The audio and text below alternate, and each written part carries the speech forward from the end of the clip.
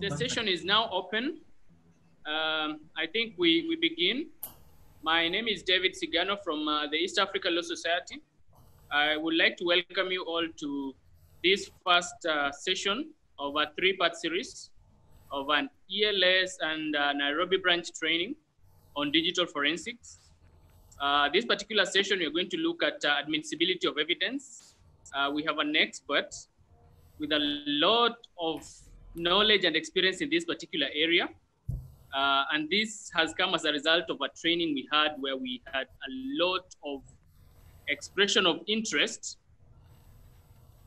uh, from participants who wanted more training in this area. So today we are going to look at four key areas, uh, admissibility of uh, digital evidence, authority of the evidence, relevance of the evidence, credibility of the evidence, and integrity.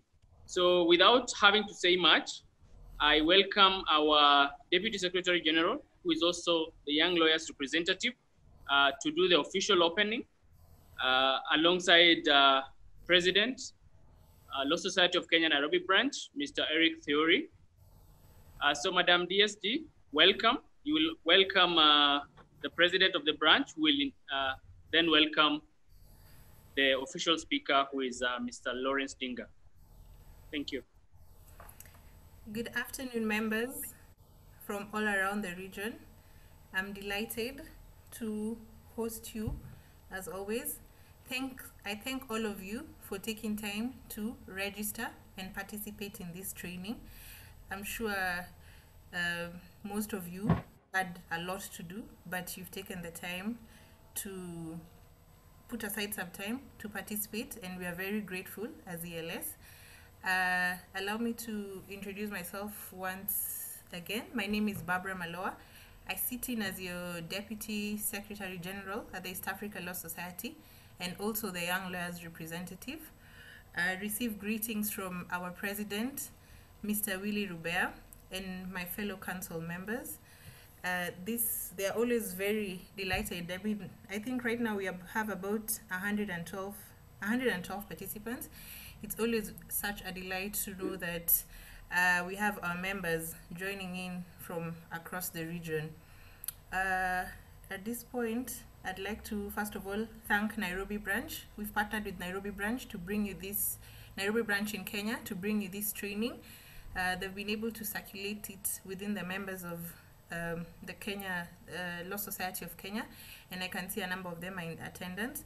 Thank you very much, uh, our able chairman, Mr. Eric Theuri. I've had David already starting to refer to you as president. Uh, he's, he has good wishes for you. Abra, don't don't downgrade me. Without further ado, Eric, I'll hand it over to you to welcome the Nairobi members and also to welcome Mr. Lawrence Dinga, our speaker for the day. Thank you very much. Uh, thank you so much, Barbara, uh, uh, Deputy Secretary General, uh, East Africa Law Society. David, uh, good afternoon, members. we are delighted to have you in attendance in this very, very exciting webinar that is brought to you in partnership with the East African Law Society. Uh, we want to, at the very onset, uh, thank the East African Law Society for agreeing to work with us on uh, this very, very exciting area.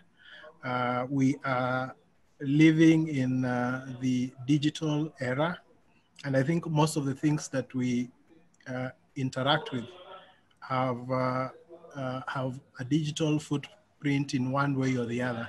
So this is the kind of training that not only just gives you knowledge that uh, is useful when uh, you are litigating, but is also knowledge that is just useful as you carry around and do your activities on a day-to-day -day basis because more and more we get to interact with uh, uh electronic and uh, computer uh, in our day-to-day -day, interaction. So we are actually excited that uh, we have this uh, uh, training. of course, the menu is also quite rich, and we have a speaker with us, Mr. Lawrence Dinka, who has a lot of expertise and experience in uh, issues related to uh, cybersecurity and uh, digital forensics. So we are looking forward to this. Uh, just a few house rules. I think uh, we will take the presentation that will be given to us by our presenter and any questions uh, on any part of his presentation can just be posted on the chat. The moderators would uh, pick it up so that at the end of his presentation, we would be able to then pose those questions to, uh, to the speaker. And, uh, and then we have a, a, a question and an, an, answer session. We, we project to do this for uh, probably the next two hours. So probably for one and a half hours, we will get the presentation and then 30 minutes would be for uh, the Q&A uh, uh, section. So your, your questions should be put on the, on the chat and then they will be dealt with once the presentation is over.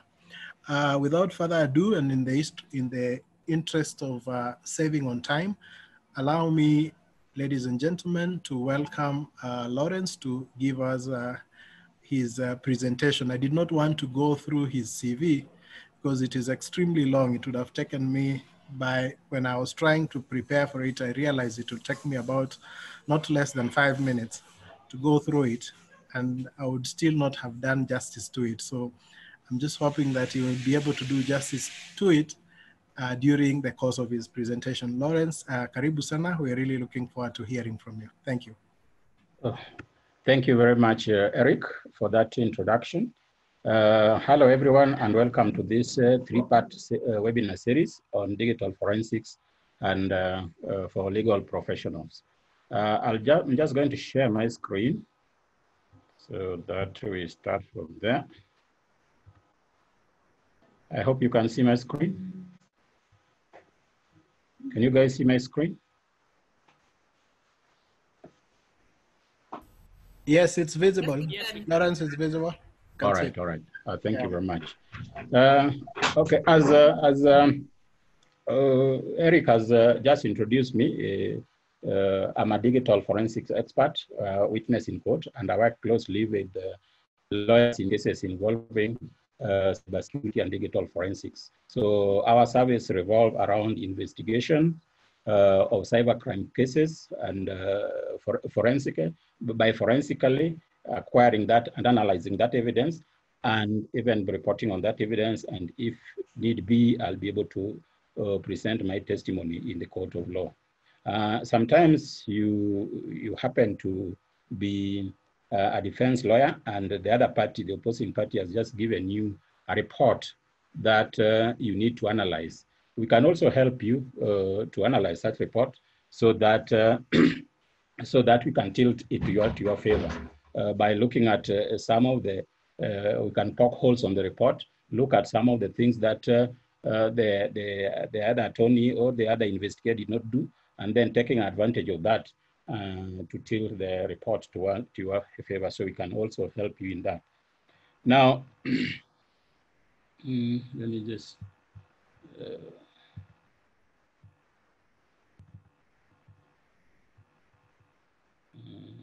Just a moment.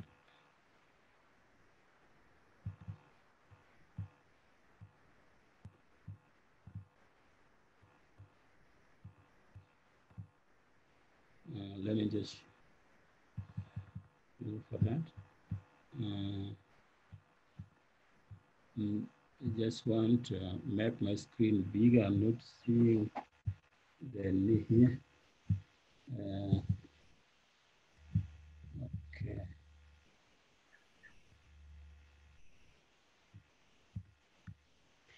I don't know for what reason I can't see I can mm -hmm put my screen to be bigger.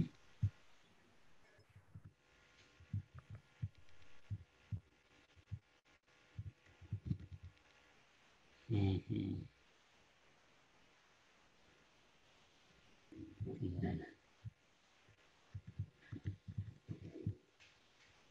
Sorry, I don't know.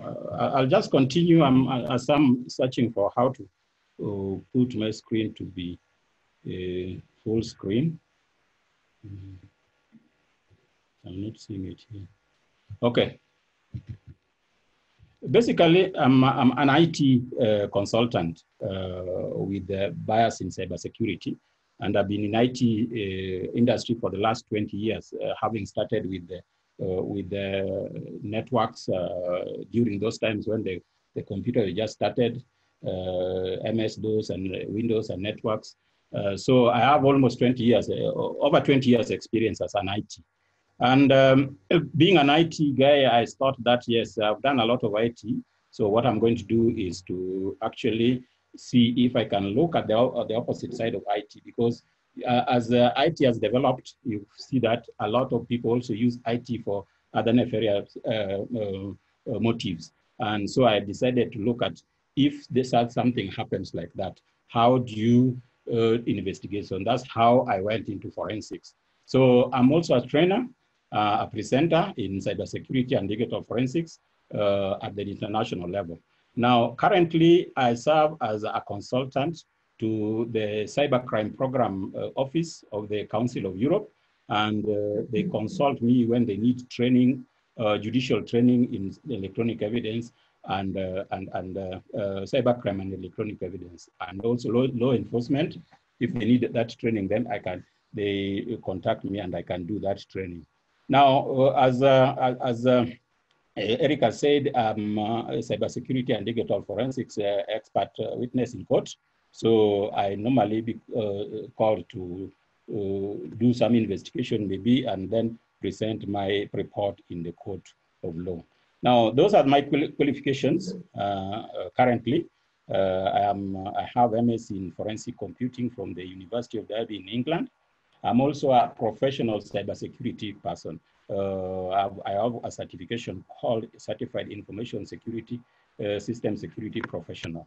Uh, because of this work that I've been doing, uh, I've, I've it has been, I've looked at what I've been doing in the past, and then it gave me some insight into getting into law because I find myself when you get into into law, you want to get into court and there are some questions that you need to understand. You just need some basic understanding of law. So I'm, I'm not I'm not a lawyer. Uh, I'm, I'm I just have a, I've just uh, have diploma in law from the Kenya School of Law, and specifically I have uh, LLM um, in uh, in law in ICT law from Open University of Tanzania. So that is that is my my my my bio in short. Uh, I'm just trying to try to shorten it uh, leaving some as aspect, but I know this is what uh, we need, I need to, to show you. Now, um, let me just move this. Now, our agenda today, uh, first of all, we know that computers and networks have become ubiquitous in, uh, in our society, and uh, they form part and parcel of our daily life. Uh, it happens nowadays that any, any legal dispute will, uh, or investigation will always involve digital evidence. So it is important for lawyers because when you go to court, you need to understand this technology. You need to understand so that you, you are able to, to, to know which questions to, to, to put to either to direct examination or to cross-examination.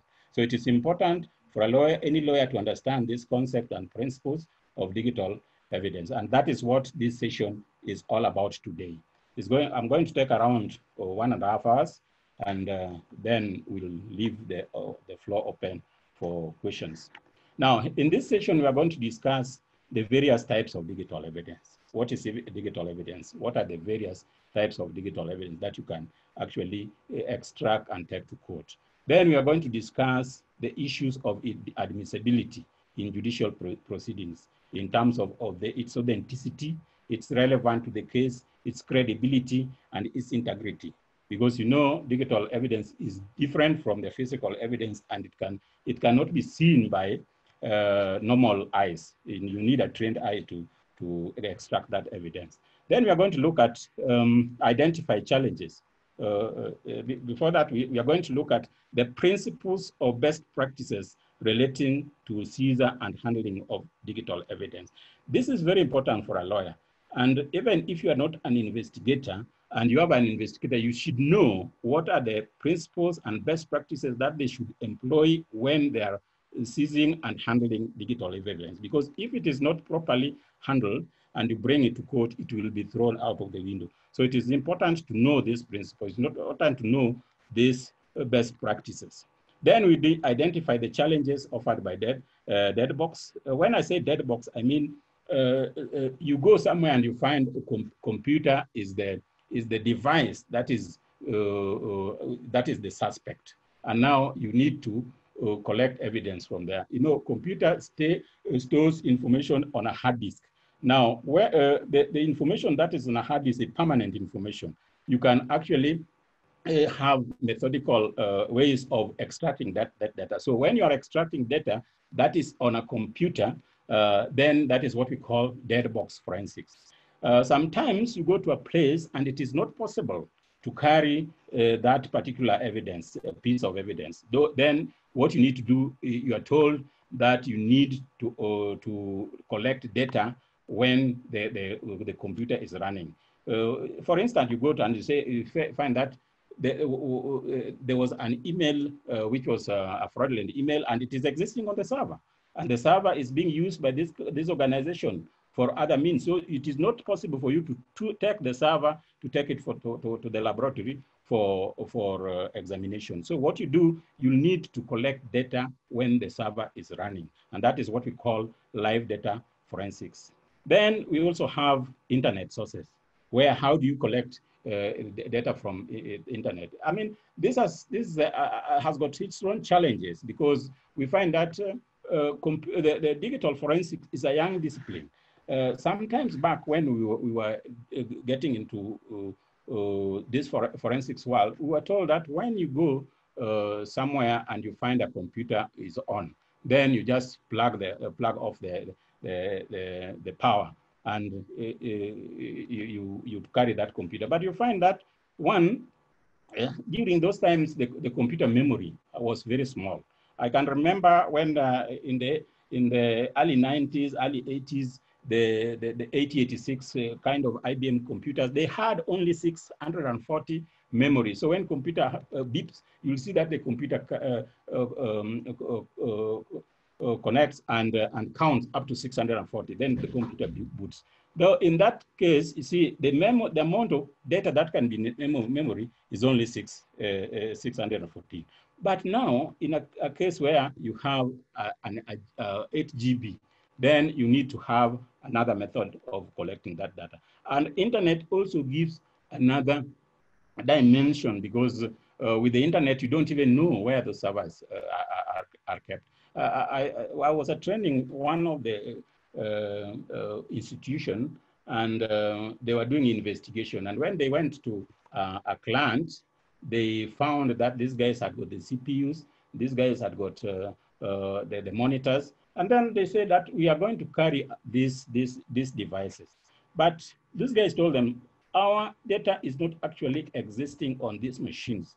Our data is existing somewhere in the, on the cloud. So you can just see how internet has actually um, uh, um, uh, done uh, some, some, some challenges, proved some challenges too to digital forensics.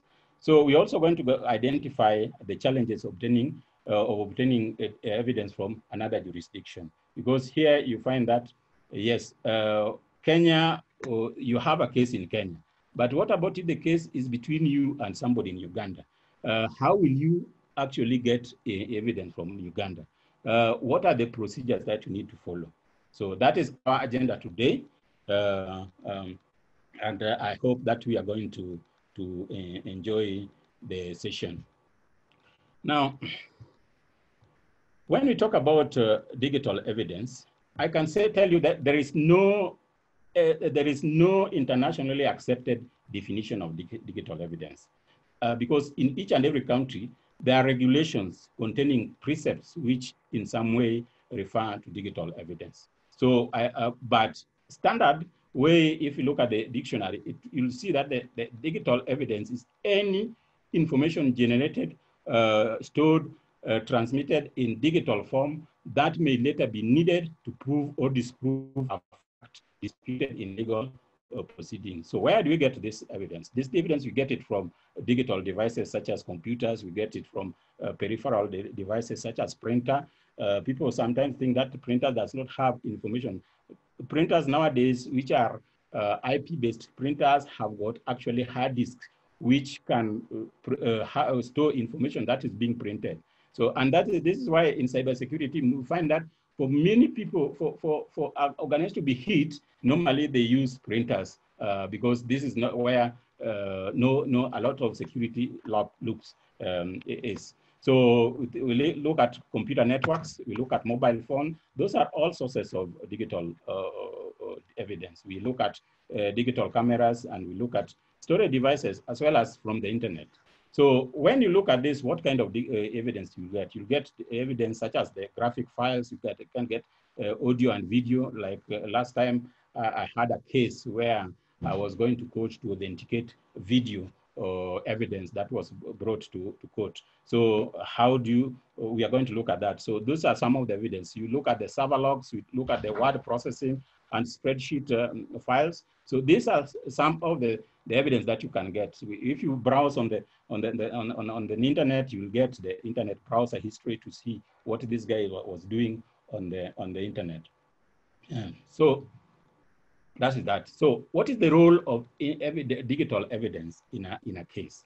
Now, it is important to, for the, the, the uh, investigator or the lawyer to know that the role of digital evidence is to establish a, a credible link between the attacker, the victim, and the, the, the, the, crime scene. Because if you cannot prove that, then automatically that, invite, that digital uh, uh, evidence will not be accepted in the court of law. So you need to prove to the court uh, beyond reasonable doubt that yes, the, this, this digital, this evidence that I'm providing is able to link attacker, the victim, and the crime scene.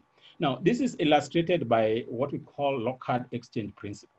Now, the Locard exchange principle states that anyone or anything entering a crime scene takes something of a crime with them and leave something of themselves behind the, uh, when they leave. Now, this principle, this concept was developed by uh, Dr. Uh, Edmond Locard, who lived between 1877 and 1966. And what Dr. Lockhart uh, speculated is that every time you make a contact with another person or place or anything, it results in an exchange of physical materials. Now, he believed that uh, no matter where a criminal, a criminal goes or, or, or what a criminal, a, a, criminal, does, by coming into contact with things, a criminal can leave all sorts of evidence, including DNA, including fingerprints, including uh, um, uh, footprints, blood, uh, bodily fluids, all that. And at the same time, they will take something away from the crime scene. So this is uh, actually uh, what Uh, we've been eh, is been used uh, for a long time in uh, in the in criminal investigation.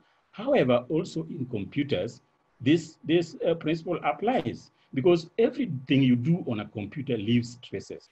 You when you access a website, you leave uh, a lot of things like uh, uh, website history. You when you put anything on a, a, USB on a computer, eh, you leave entries on the registry, you leave deleted files. We have things like email headers or instant messaging. That gives you clue as to the immediate servers through which the information has transversed. La server logs also have uh, provide information about computers um, um, uh, or system that they were accessing that particular server. So that is the role of a, a, a digital evidence. And when you go to court as a lawyer, if you cannot prove that the evidence that is put before the court is can be able to link properly, credibly uh, link the attacker and the, the victim and the crime scene, I think you lose that case. And sometimes you find that also when you are maybe you are a, a, an oppose, uh, a defense attorney and somebody has uh, uh, given a report and you can look at that report, look at how they did the investigation. If there's any way that the, uh, their process is not linking the attacker uh, to the victim and the crime scene, then you can actually uh, refute that case. Now, the problem with the digital evidence uh, challenges, you see, this the digital evidence is uh, is volatile. What is volatile? Which means that it uh, sometimes when you put on computer uh, and the computer boots and, and and puts everything and the computer is now ready to be used, there's a lot of information that is that is stored in the random access memory. That is the, the RAM. Now, uh, uh, this information can usually be overwritten just by usual functioning of the devices. Because sometimes you find that you have a computer which has got low, low in memory and the, the, the operating system will not keep everything in the, in the memory. So they'll have to transfer some data to the hard disk and then call that data uh, when they need it. So, so uh, volatility is, is an aspect that makes uh, the, the evidence, the digital evidence, very, very much uh, uh, volatile. Now, the other, the, the other time, the other thing is that sometimes you go and, and, and, and uh, find a computer and you shut it down. Now, when you shut that computer down, everything that was in the memory of that computer will be gone. Now, that is the volatility. Sometimes you, you might, might pass through a, a place which has got magnetic or uh, through environmental factors such as excessive uh, magnetic uh, uh, uh heat or magnetic fields, then the data can be wiped, especially for the, the, the, the hard disks that we have right now, which are, which are, which are, the, which are spinning hard disks. Now, the, the other aspect, challenge is, is that the, it is fragile digital uh, evidence is uh, susceptible to alteration and can easily be manipulated, altered, and, and damaged. Now, we, uh, we can say that they, they relate between volatility and fragility, but when we talk about fragility, here we are talking even of, of the data that is uh, permanent in the, in the hard disk.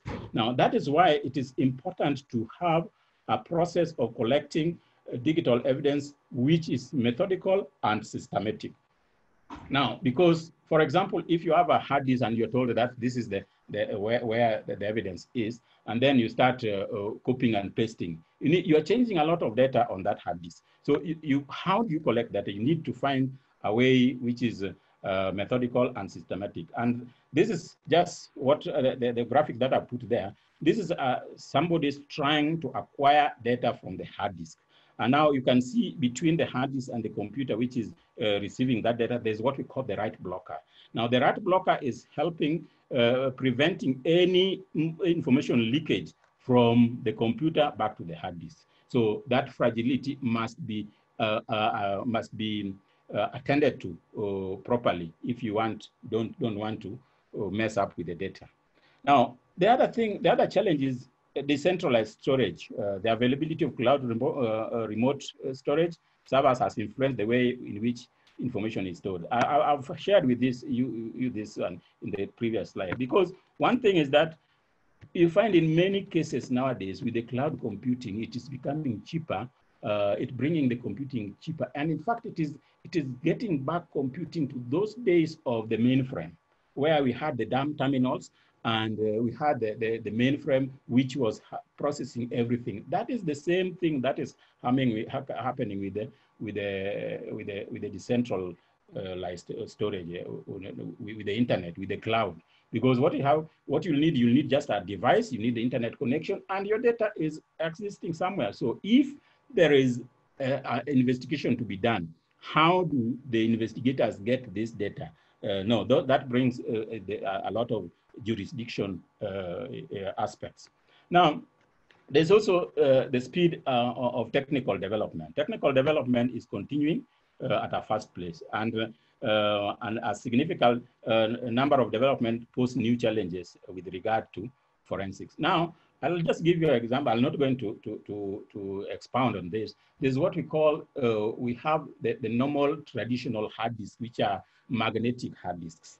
Now, nowadays, you find that we have what we call SSD hard disks. Now, SSD hard disk is taking uh, the technology by, by another, another, another wave. it's a wave of technology, and you find that uh, even right now, when it comes to standards, it's the, the standards uh, are, have not yet been developed, but it has also a, a, a, a bigger impact on uh, forensic investigation. So speed of uh, technical development uh, is, is a factor when you are looking at uh, digital evidence.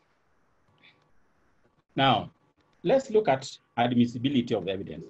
Before any evidence you bring to court, before it is admissible, uh, uh, it must re, uh, ma ma maintain some characteristics. So digital evidence must be collected in compliance with the existing national legislation and best practices to ensure admissibility in the, in the court of law.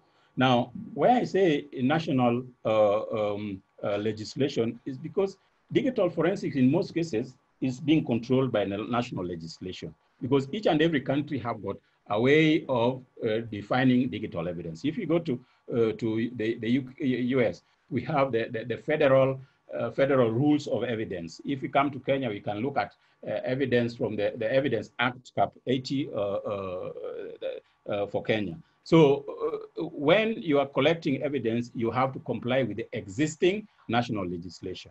Now, one thing that is very important before you collect anything is you must have the legal authority to, um, to, to, to, to, collect that evidence. The investigator must ensure that they have the legal authority to acquire and collect the, the evidence. Without that, that evidence, when you bring it to court, will, uh, will actually be thrown out of the window.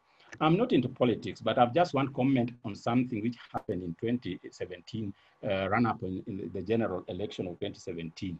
Now, when the, the, the, the results were disputed, uh, the Right Honorable Raila Amolo Odinga uh, came with an expert on uh, live TV, and then they claimed that the, the elections have, have been uh, stolen and they have uh, evidence to that effect. They can produce that evidence. Yes, I, whether they were true, they were wrong.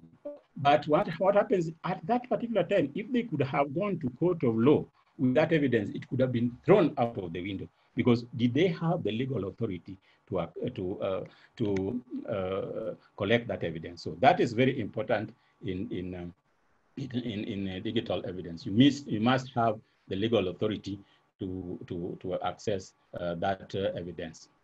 Now, there's also the, the, the, issue of authenticity. We say that authenticity is, is that the evidence uh, uh, shown is what it is what it purports to be. Mm. So if the evidence that is brought to court is what it purports to be, then we can say that the evidence is authentic. That authentic means that it is genuine and it matches the claims about it. Now, this sometimes, uh, um, uh, I had a case uh, around this. Uh, I've, uh, I've had two cases around authenticity. One was authenticity about email, uh, which was exchanged between two parties. And before they were ad admitted as, as evidence, they had to be authenticated. So they called me to authenticate that. The other one was also authenticating video evidence, which was the main thing on, on, the, on, on the case. So it, the, what uh, the, the, uh, where, how you could be able to make sure that the evidence that you present to court is genuine and matches the claims that it be. That is the authenticity. Authentication of evidence is very important and no evidence will always be uh, admitted if there is um, uh, uh, the, the, issue of authenticity is not, is not clear. The other thing is the relevance. Forensic uh, relevance is determined by whether the digital evidence say, establish a credible link between the perpetrator uh, and the target and the crime scene. I think we we look at that. Uh, then there's the issue of integrity. Integrity is that there must be proof that the digital evidence has not been altered either inadvertently or intentionally. Because you see, as we say that the digital evidence is not something that you can see with your own eyes. It is something that, uh, that, that is hidden. Now, if, if um, you can prove, can prove to the court that this evidence, as we took it, it has not been uh, uh, in any way interfered with, then that is the authenticity, that, that's the integrity of the evidence. Now, there's also the aspect of reliability. There must be nothing about the way in which the evidence was collected and subsequently handled that may cast doubt on its authenticity and ver veracity.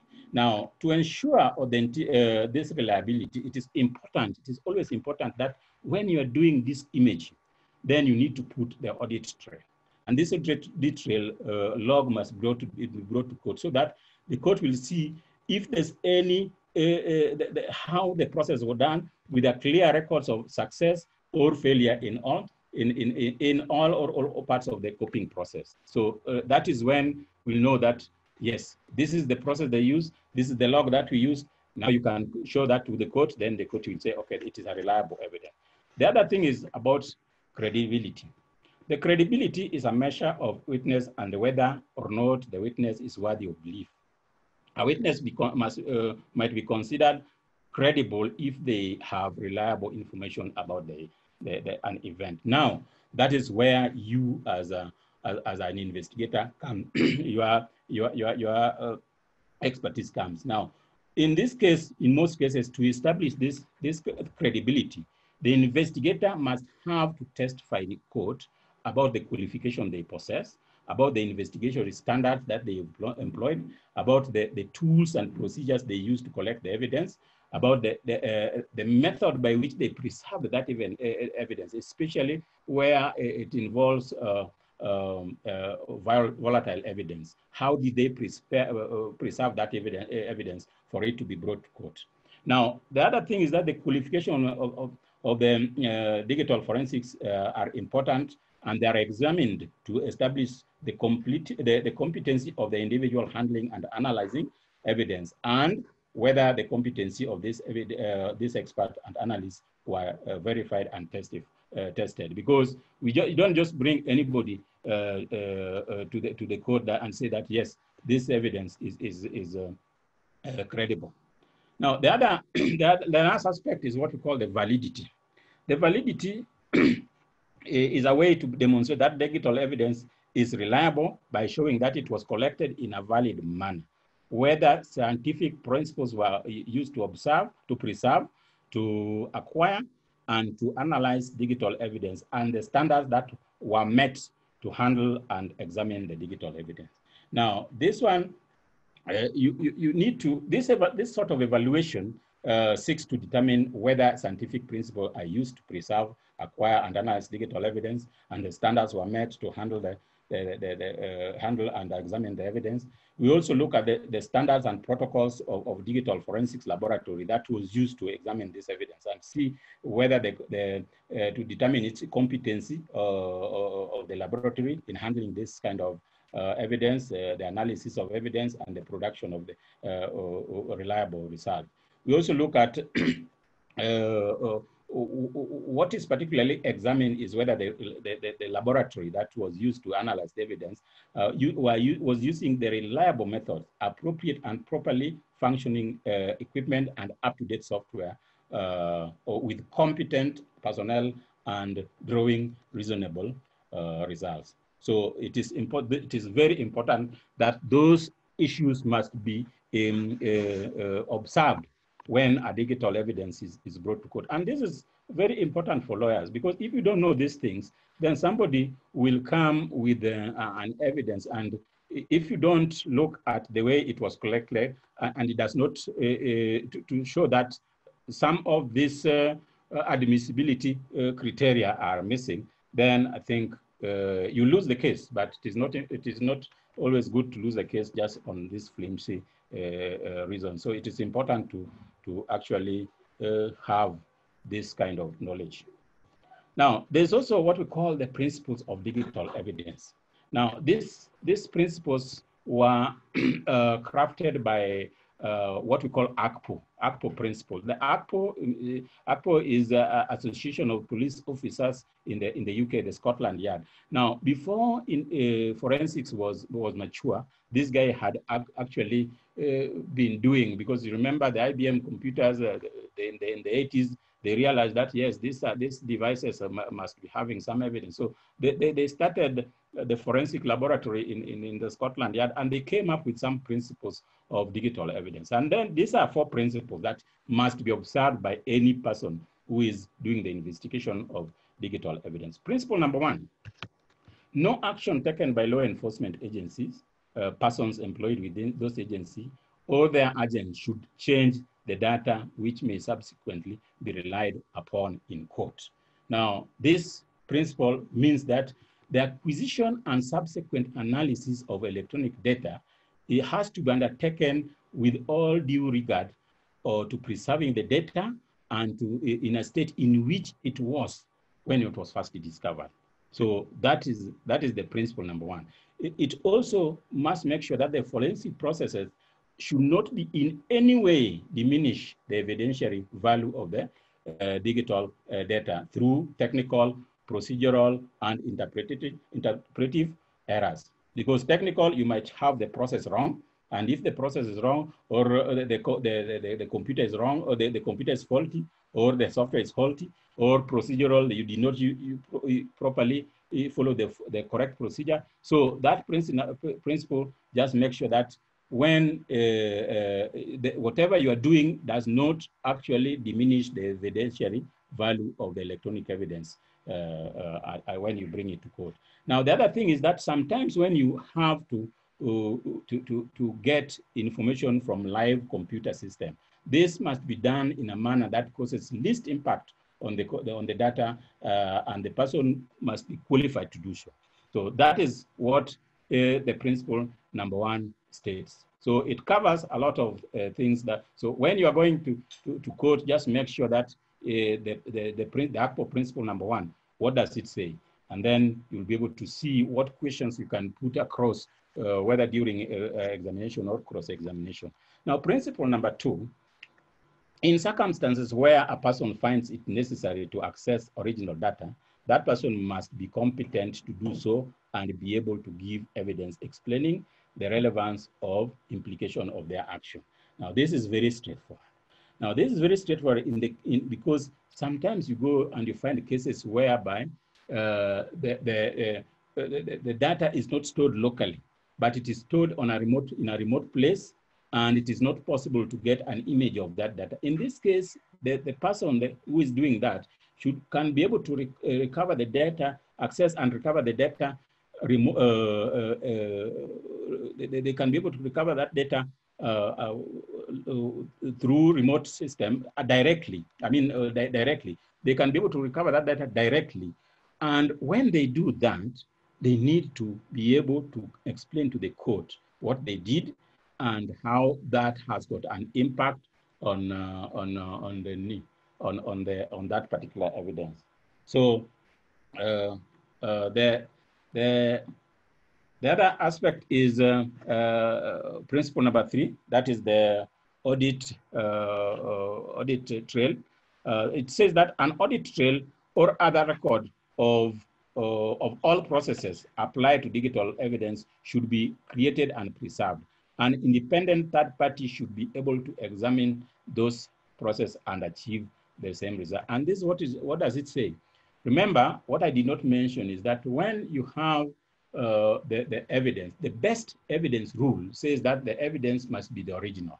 So it is not always uh, uh, uh advisable to tamper with the original evidence. And that is why you, in, in, in, when what we are going to see in digital forensics uh, part of it, we are going to see how to cover, how to get a bit by bit copy of that original evidence so that the original evidence can be brought to court um, uh, to can be brought to court Uh, as as the original uh, uh, evidence. So it is important that because when you do this, uh, well, let's say you interfere with the evidence and you come to court, and the other the opposing party says that now we've seen no report, but we want that original evidence so that we can actually do our own investigation then what will you do? Because you already uh, uh, interfered with the original evidence, that is the, the data, uh, the original data. Now, I found this last year was very interesting. Now, last year I was in court and the prosecution uh, brought uh, the, uh, the, the, the evidence on a CD. Now, when they brought the evidence on a CD, and that was the only evidence that was for that, that, that, for, that, for that case.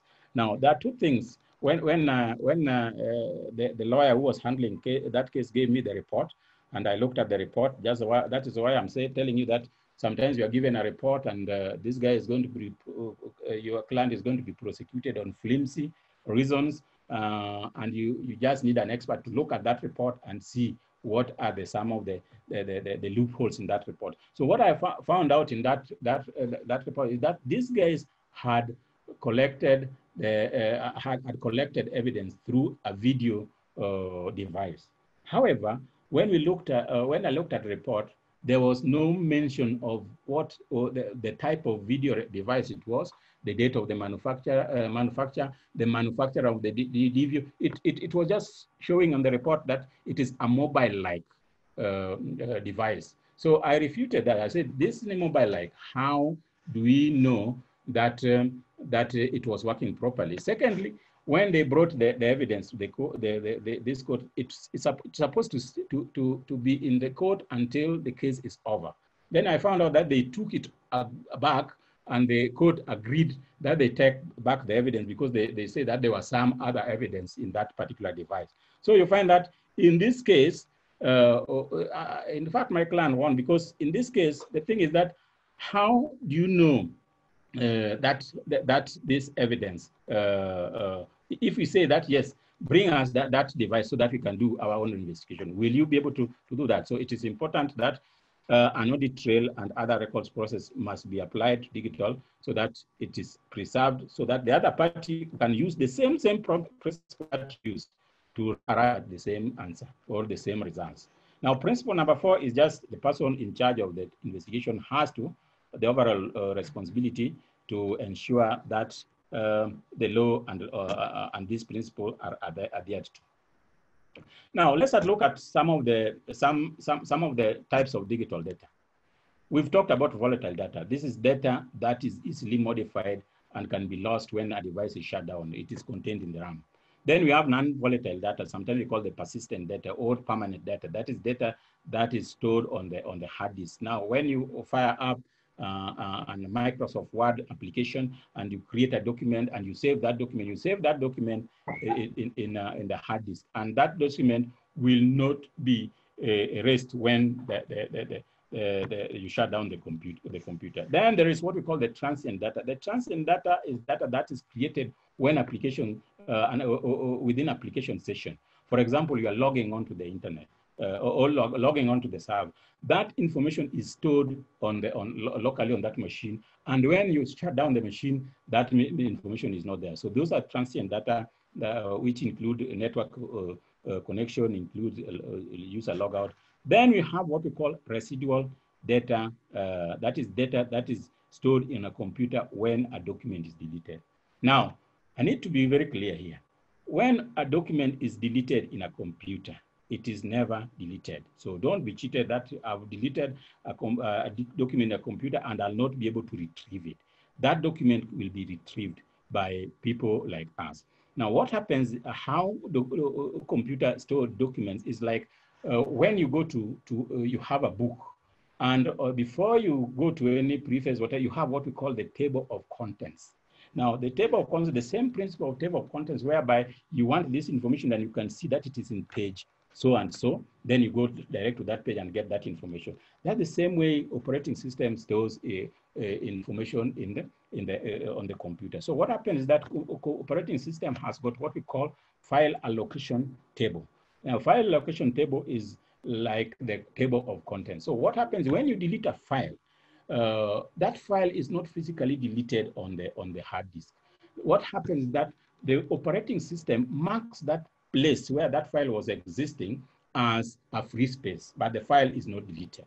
So what happens that uh, it will just uh, say, okay, this file is, delete, uh, uh is deleted. So when a new file comes, operating system knows that, yes, I've flagged uh, that particular space as, uh, as, as, as deleted, so I can overwrite there. So you find that when you bring a new file, it is written on the place that, that was marked deleted. But you, you, now this depends now what is the size of the, the file? See, if I have a document of 80 pages, which I saved on the, uh, on the, on the, hard disk, now I've deleted it. Now the operating system marks it as deleted, and maybe this, this had got a lot of information. This is the, the, the, crimi uh, uh, the, the, the criminalizing uh, information. So what happens that when uh, you, you delete it, And then uh, later on, you come up with a, a, a, document which is only 20 pages. You see, the, the, the big, uh, the 80 pages is much bigger than the, the 20 pages. So the, the allocation, the, the, the, the uh, allocated space for the,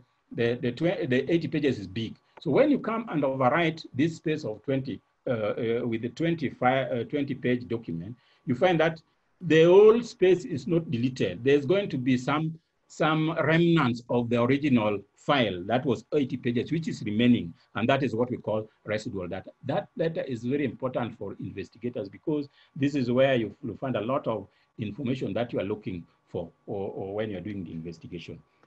Then we have what we call metadata. Metadata is, uh, is record about a particular document, uh, which includes the, the format and how and when and who created the document, saved and modified it. Now, if you have your, your Word document, you come and you, you, you, you create a Word document and save it. Now, when you save that, that information, there's some information that is not going to be visible when you open that document. That is what we did, data, uh, what we call metadata. Now that metadata has got the date when the file was created. It has got the, the, how the file was created, the application that was used to create the file, and when and who created that file. That is what we, and that metadata is very important in investigation. I can remember uh, I, I, was doing uh, one, one investigation uh, this year, and I actually relied very much on the metadata. Now, let's look at the, the, the, authentication of digital evidence. Now, digital evidence, as I said before, it is, can be admitted as an evidence. It has to be authenticated. Now, let's look at two, uh, three scenarios here. When you are using computer, you are generating content. So you can generate a content by one or more person, like you, you are doing a text email, uh, you are doing a text, you are doing uh, email, you are doing instant messages, uh, uh, and, and such like. So that is content generated by a person.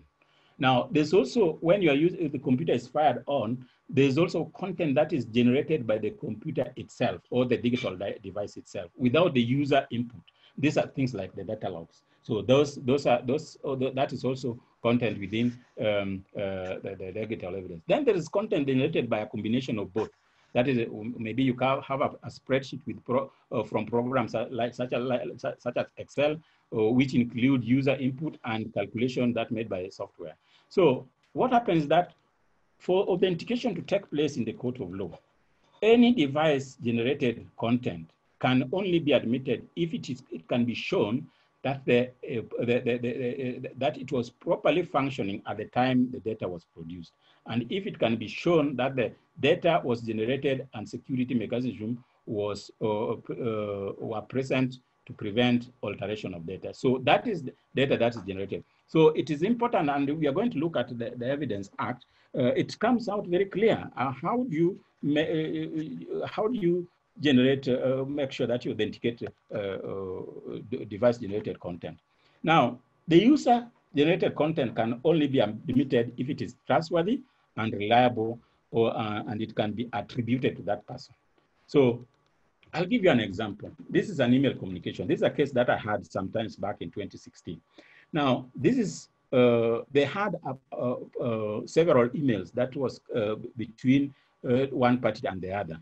So the thing was, I was called in court to authenticate this email to see whether they can be admitted as evidence. And you know very well that email is something that can be spoofed somebody, uh, the, the, protocol that is being used to, to send email across the network, uh, the, the internet is a very weak, uh, insecure uh, protocol, that is SMTP. I can actually generate a mail and say that it's coming to you while it is not actually coming to you. So email can actually be, be spoofed. Now, for this email to, to be uh, uh, admitted as evidence in the court of law, I had to go and authenticate this email. Well, did they come from this person?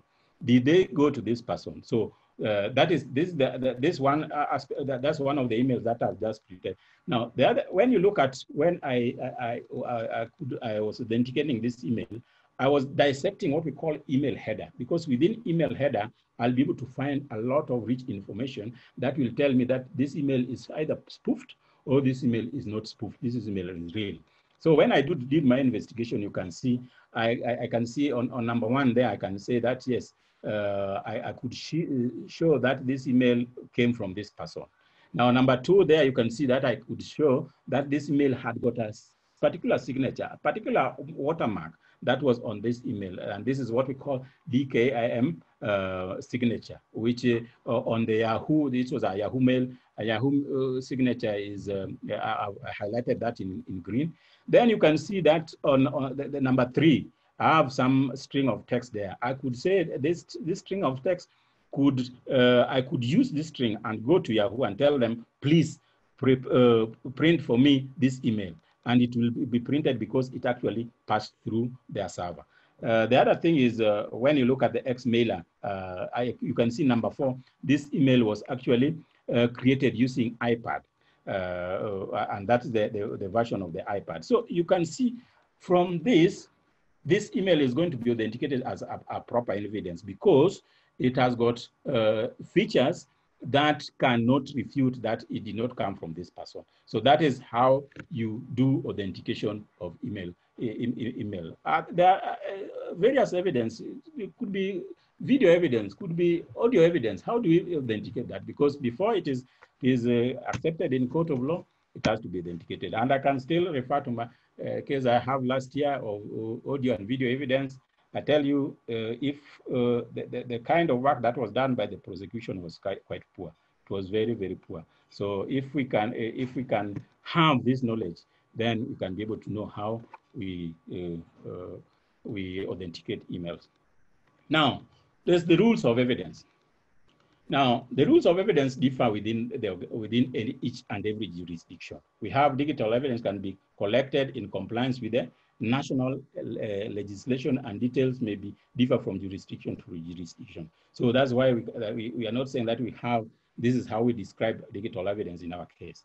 Now, evidence has to be presented in court, must comply with the established rules of evidence. Now, when you go to the, to the US, we have the, the, the, the, the federal rules of evidence. When you come to Kenya, uh, we have the Evidence Act. So uh, there must, the rules of evidence uh, uh states that evidence must be uh, uh, preserved in court uh, and must be complied with the established rules of evidence.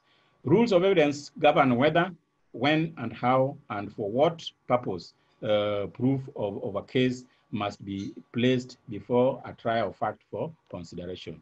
Then the best evidence rule is established to prevent an alteration of digital evidence uh, either intentionally or unintentionally. And the best digital, uh, best evidence is the original evidence, piece of evidence or an accurate duplicate of the original. Now, this, this last point, we are going to look at it when we are looking at the, the, the second session of uh, digital forensic process. Uh, how do you make sure that you do not interfere with the original evidence? And how do you make sure that the the, the evidence that you, you, you have, the copy, that copy of evidence represent a true copy of the original. So that is being looked at when it comes to, uh, to digital forensics process. Now, now let's, uh, as I said, it, it depends on the, on the, on the, on the, on the local legislation. We have Evidence Act, Section 78A. Now in Section 78A, uh, the Act recognizes and endorses the use of electronic evidence, uh, reiterates the condition of, for admissibility of uh, electronic evidence. In any legal proceedings, electronic messages and digital materials shall be admissible as evidence. That's according to the Act. I'm, I'm, these are, uh, got this from the Act. Now, the court shall not deny admissibility of evidence under, uh, under only the ground that it is not an or, its original form. Now, the, the weight attached to electronic evidence uh, is determined by the reliability of how it was generated. So we are going back to those principles, we are going back to those admissibilities, and you can see that each and every jurisdiction, they have their own ways of validating evidence. So it, it must make sure that it was generated, uh, stored and communicated properly, uh, it reliably, it was uh, preserved reliably, the originator was identified. And now you can remember, remember just uh, the, previous slide where I say that I can now, I can, be, without any doubt, be able to link this person as the originator of this email uh, when I bring that email to court. So uh, the originator can be identified and any other relevant factor. Now, we also look at the section uh, uh, 106B, that is, the, the, uh, there in order to certify the code, uh, it meets the, this criteria. So the electronic record was produced, fed into, or derived from computer in the ordinary course of the business by a person having lawful control over the computer. That's very, that point is very important. The, the, the computer was operating, operating properly, or if there was any, in any way in which it was not properly, uh, operating properly, then such malfunction was not of such nature to, as to affect the electronic record or accuracy. Now, there must be a certificate signed by the person occupying the responsibility uh, or responsible uh, position in relation to the operation of that particular uh, device or, or, or, or, relevant activity. Now, this is something I found that no, not so many lawyers know about this. And when they, they bring cases to court, this is where they fail. And let's look at the, uh, what are the function of the, the, the, the certificate. It is to identify the electronic evidence containing the uh, statement and describing the manner in which it was produced, uh, giving such particulars of any device involved in the production of the electronic record as may be appropriate for the purpose of showing that the electronic evidence was produced by, the, by a computer. Dealing with such matters as to uh, relate to uh, subsection two and purporting to be signed by a person occupying the responsible position in relation to operation of the uh, relevant device uh, or the management of the device. So a certificate is something that people do not, uh, many lawyers do not know about this section 106B when it comes to digital evidence. Now, let's look at this, this case law, Rasanga and Oduol, uh, 2014. Uh, the witness statement was back, backed by a CD uh, that was said to carry a video clip and uh, he said uh, he had captured using his Nokia phone. It contained footage and, uh, of the election clerk with marked ballot papers, preparing to stuff them into the ballot box. The clip had been transferred from the phone to a disk without a certificate. The witness, being the owner of the phone, uh, uh, said nothing uh, about the working condition of the, the, the, the Nokia phone no evidence regarding the computer used, uh, i.e. how did it, or was it uh, transferred from the uh, mobile phone to the CD? What computer, what computer was used? What was the condition or reliability of that computer? No evidence show, to show that he was the one who owned the, and operating, operated the, that particular device. So the, uh, the condition of, of any device used in the process uh, of creating and, and a signature uh, from the person who was legal possession of the gadget should have been provided. Now, what did, what, what did uh, Justice Muchelule say? The person who had copied the clip from the phone to the computer had not created a, a, such a certificate to make it acceptable. Uh, the reason for particulars of the computers used in the production of CD ha had to be given and such particular would include things like MAC and serial numbers of the, of the computers, so that if it becomes necessary, one can trace the devices by, uh, for audit purposes. And the ruling was done in the favor of Rasanga. This is because this somebody thinks that you, you just go and, and take a video somewhere and then you bring it to court. You have to look at the section, uh, section um, uh, 106. And secondly, the other thing is you have to be able to convince the court how uh, make sure that you you the, the way you collected that uh, evidence, the way it was preserved, what we call the chain of custody. So that is uh, a local case. There are other ways where um, uh, uh internationally we, uh, they, have come up with ways to to to look at digital evidence. Now, International Organization of Computer Evidence was established in 1995 uh, with the purpose of providing a forum for global uh, law enforcement agency to exchange information regarding cybercrime investigation and other issues. Now, the problem is, this is a big problem. Cybercrime is a, a, a, a, worldwide problem. So what happens that sometimes you find that in Kenya, we do not have laws that are, are, are are, are addressing uh, cybercrime. Maybe uh, right now we have the, the computer crime, uh, but what, what, constitutes of a, a crime, a cybercrime in Kenya? It may be not be the same thing that constitutes a crime, cybercrime in Uganda. So these are guys who are trying to come up with some standards uh, so they developed, IOC developed international principle for the standardized recovery of computer-based evidence uh, governed by the following attributes. They wanted consistency with all legal systems. Remember, different legal systems in different jurisdictions have got their own way of validating digital evidence. So they also wanted allowance for use of uh, common language uh, and ability for international boundaries. You know, you see, uh, cybercrime is is is uh, is borderless. So I can do a, a, do a crime here, and the crime uh, I'm a Kenyan, and the, the, the computer that I attacked was in, in, in Uganda, and and the other people are now. Which law uh, uh, are we going to to to to, to use to to prosecute? So the uh, IOEC IOCE is is one such body. Then the other, uh, what does IOC uh, talk about when we talk about computer evidence? It says that when dealing with digital evidence, all the general forensic and procedural principle must be applied. Uh, upon seizing digital evidence, action should not change that evidence. Remember our principle number one in, in, in uh, ACPO. When it is necessary for a person to access the original data, evidence, that person should be trained for the purpose. Remember principle number two, uh, all activities relating to the, to the seizure access, uh, storage, uh, transfer of digital evidence must be fully documented, uh, preserved, and uh, available for review. Uh, then, oh, oh, individual responsible for the action, for, the, for, for all the action must be with, res with respect to, to evidence while list uh, evidence uh, evidence is in their position, they must make sure that they have good custody of that evidence. Now, the other thing is the scientific uh, working group on digital evidence. Is This is more of UK, US based, uh, but they have standards that can be applied.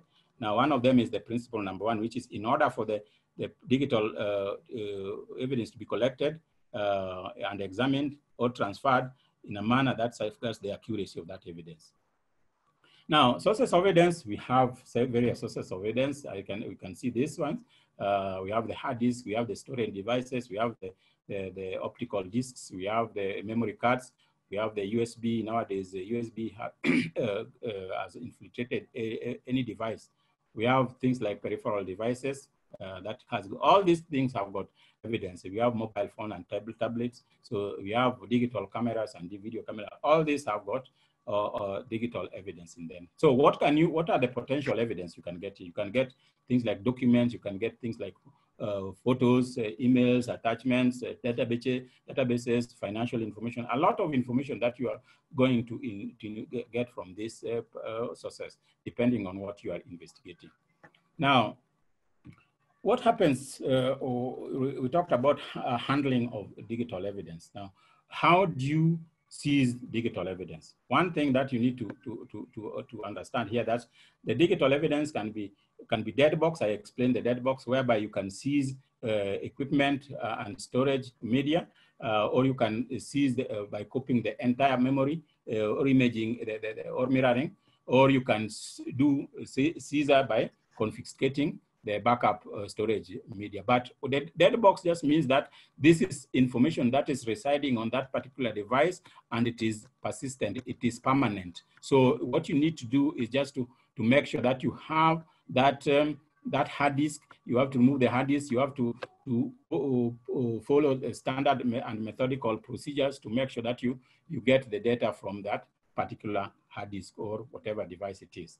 Then we also li have live forensics. Here, here I told you that you can go to a place and uh, the thing is that you you you cannot actually seize that uh, that server. So what happens is that what what you do you need to to uh, you, you, need to make sure that you can get that data when the, co the computer is running.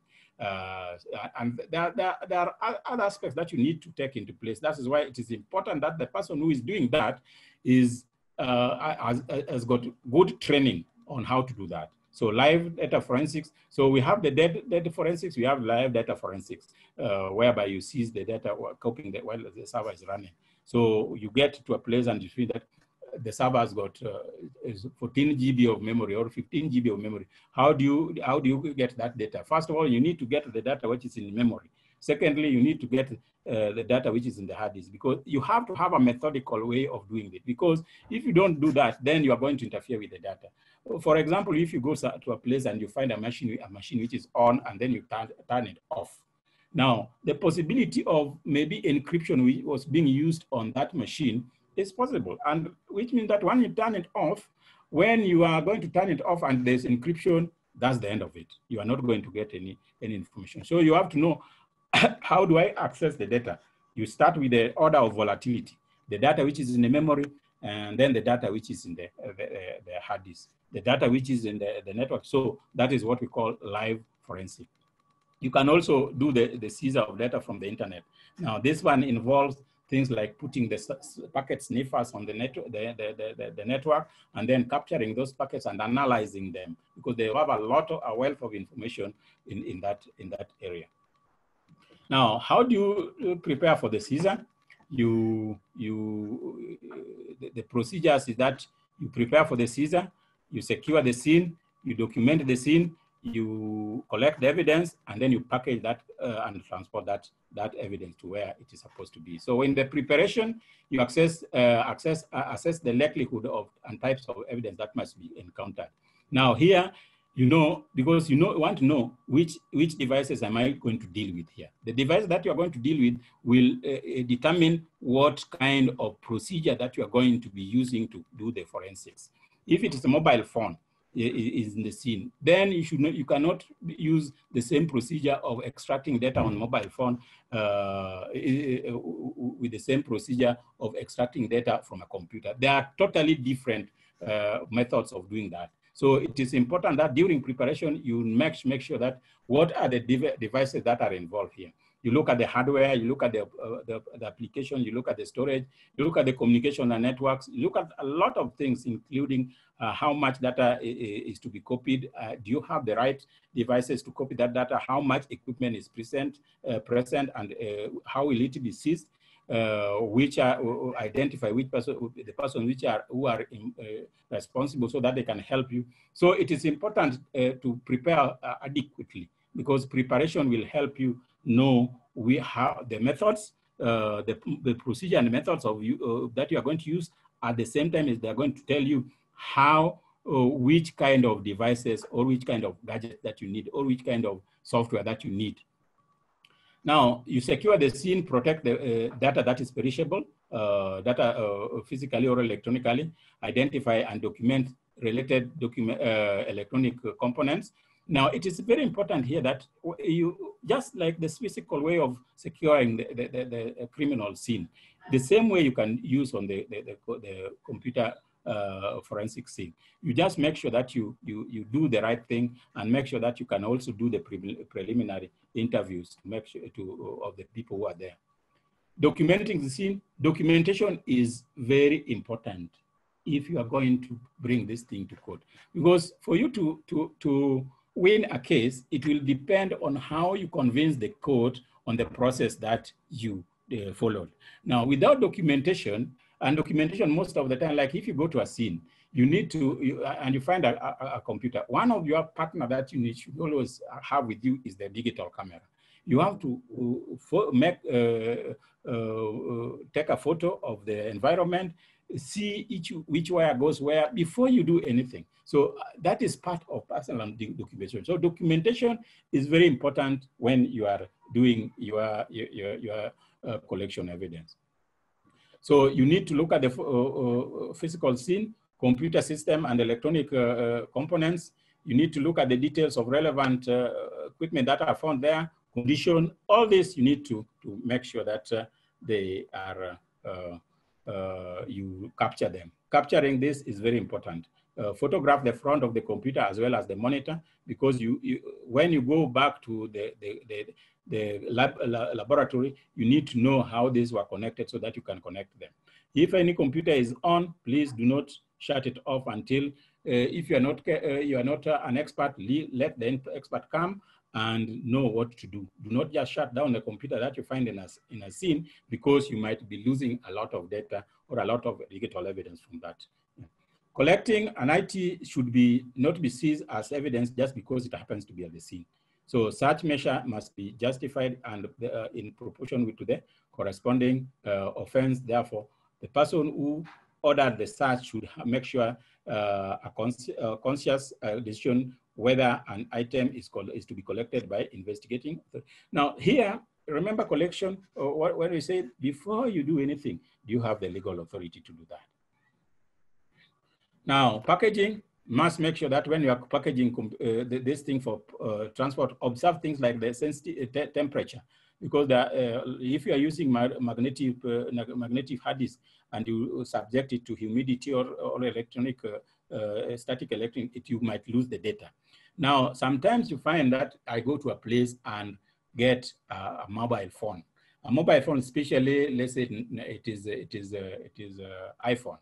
Now, if that person knows that you've confiscated the phone and this phone has got incriminating uh, uh, evidence, then you know that very well that that person can actually delete all the information uh, remotely. So it is important that when you're transporting this information, you put it in a way that it cannot be, be, be tampered with. And in, for mobile phone, we have what we call uh, Faraday, Faraday bags. Uh, I don't have it here, but I'll show you ne next time. Faraday bags so that that phone will not communicate with the, the outside world. Secondly, you know, if it is on, leave it on. Don't turn it off because there could be password on that form and there's nothing you can do, do about, it, about it. This is what we call uh, um, uh, anti-forensics. Now, evidence management. This is very important because when you go to, court, what we, uh, the evidence management will be looked into very details. It refers to the administration and control of evidence related to an event so that it can be used uh, uh, uh, so, so, so that it can be used to prove the circumstances of event and that this proof uh, can be tested by independent parties with confidence that the evidence collected is related to the event. So you must have a proper evidence management. Now, this proper evidence management is what we call uh, the chain of custody. The, the, chain of custody is that uh, uh, uh chronological documentation or paper trail. The, the custody, the control, the transfer, the analysis and disposition of physical evidence, which means that when you seize the evidence, that you start chain of custody from that particular time until this evidence will be released uh, to, the, to, to the owner uh, after the case is done. Now, one of the faults, uh, for, uh, uh, I told you last year I had a case, one of the faults, uh, faults that I found out is that when these guys did their video plus blah, blah, blah, using this mobile light, they again came and took it from the court and the court allowed them. And that alone uh, uh, did not, uh, the chain of custody was broken. And that, if the chain of custody was broken, I mean, that evidence cannot be authentic. secondly, when I looked at, I didn't mention that, when I looked at the document, the, the, the document and, and, the CD, because it was only a CD that was uh, the main uh, evidence there. So when I looked at the CD, the case was in 2018 and everything which happened was in 2018. However, when these people, when they took the CD, they did not change the date. The date was reading 2014.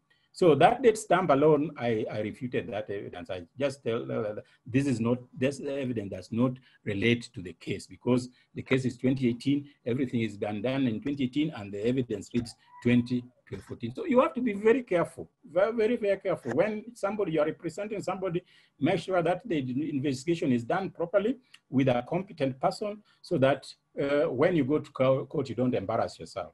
To maintain the chain of custody, you must preserve the evidence from the time it is collected to the time it is presented to the court. To prove the chain of custody, the, uh, uh the the investigator must certify that the evidence uh, offered in the court is the same evidence that was collected. Uh, the, that the evidence offered in court is the same evidence that was collect, received uh, to the time and uh, date the evidence was received and transferred to another agency. So those date stamps are very important. That there was no tampering with the evidence while it was in custody.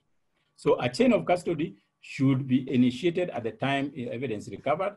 The, the chain of custody begin as soon as the seizure takes place and complete, concludes uh, when the evidence is returned or destroyed to the, uh, by the court. So this is just a, a, a, a, form of chain of custody. Uh, you can see that I have a lot of information that I put there, the case number, the offense, the submitting officer, the victim. So all these things, you want to make sure that when you are you are in court, you, you are presented with this document, and you have to look at uh, meticulously, class, uh, classly, what kind of information that you need there. The what information that is going to make sure that your case is tilted uh, in your favor. So these pertinent things that we we don't we, we ignore are actually the, the main base that forms our case. So that is a, a chain of custody. You can see that this guy collected two pieces of evidence, Dell and uh, emission DVR. And then what happens that in the next, he makes sure that he, he uh, grays that out so that it is the final entry. So nobody will able to, to, to add, add additional information here. If somebody is adds addition, then the chain of custody is going to be questionable. So that is how you, you transfer of chain of custody and uh, the chain of custody um, uh, uh, more information.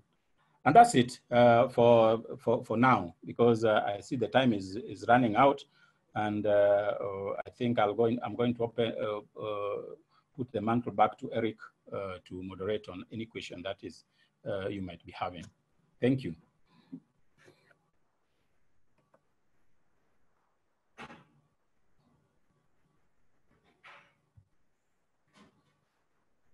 Eric?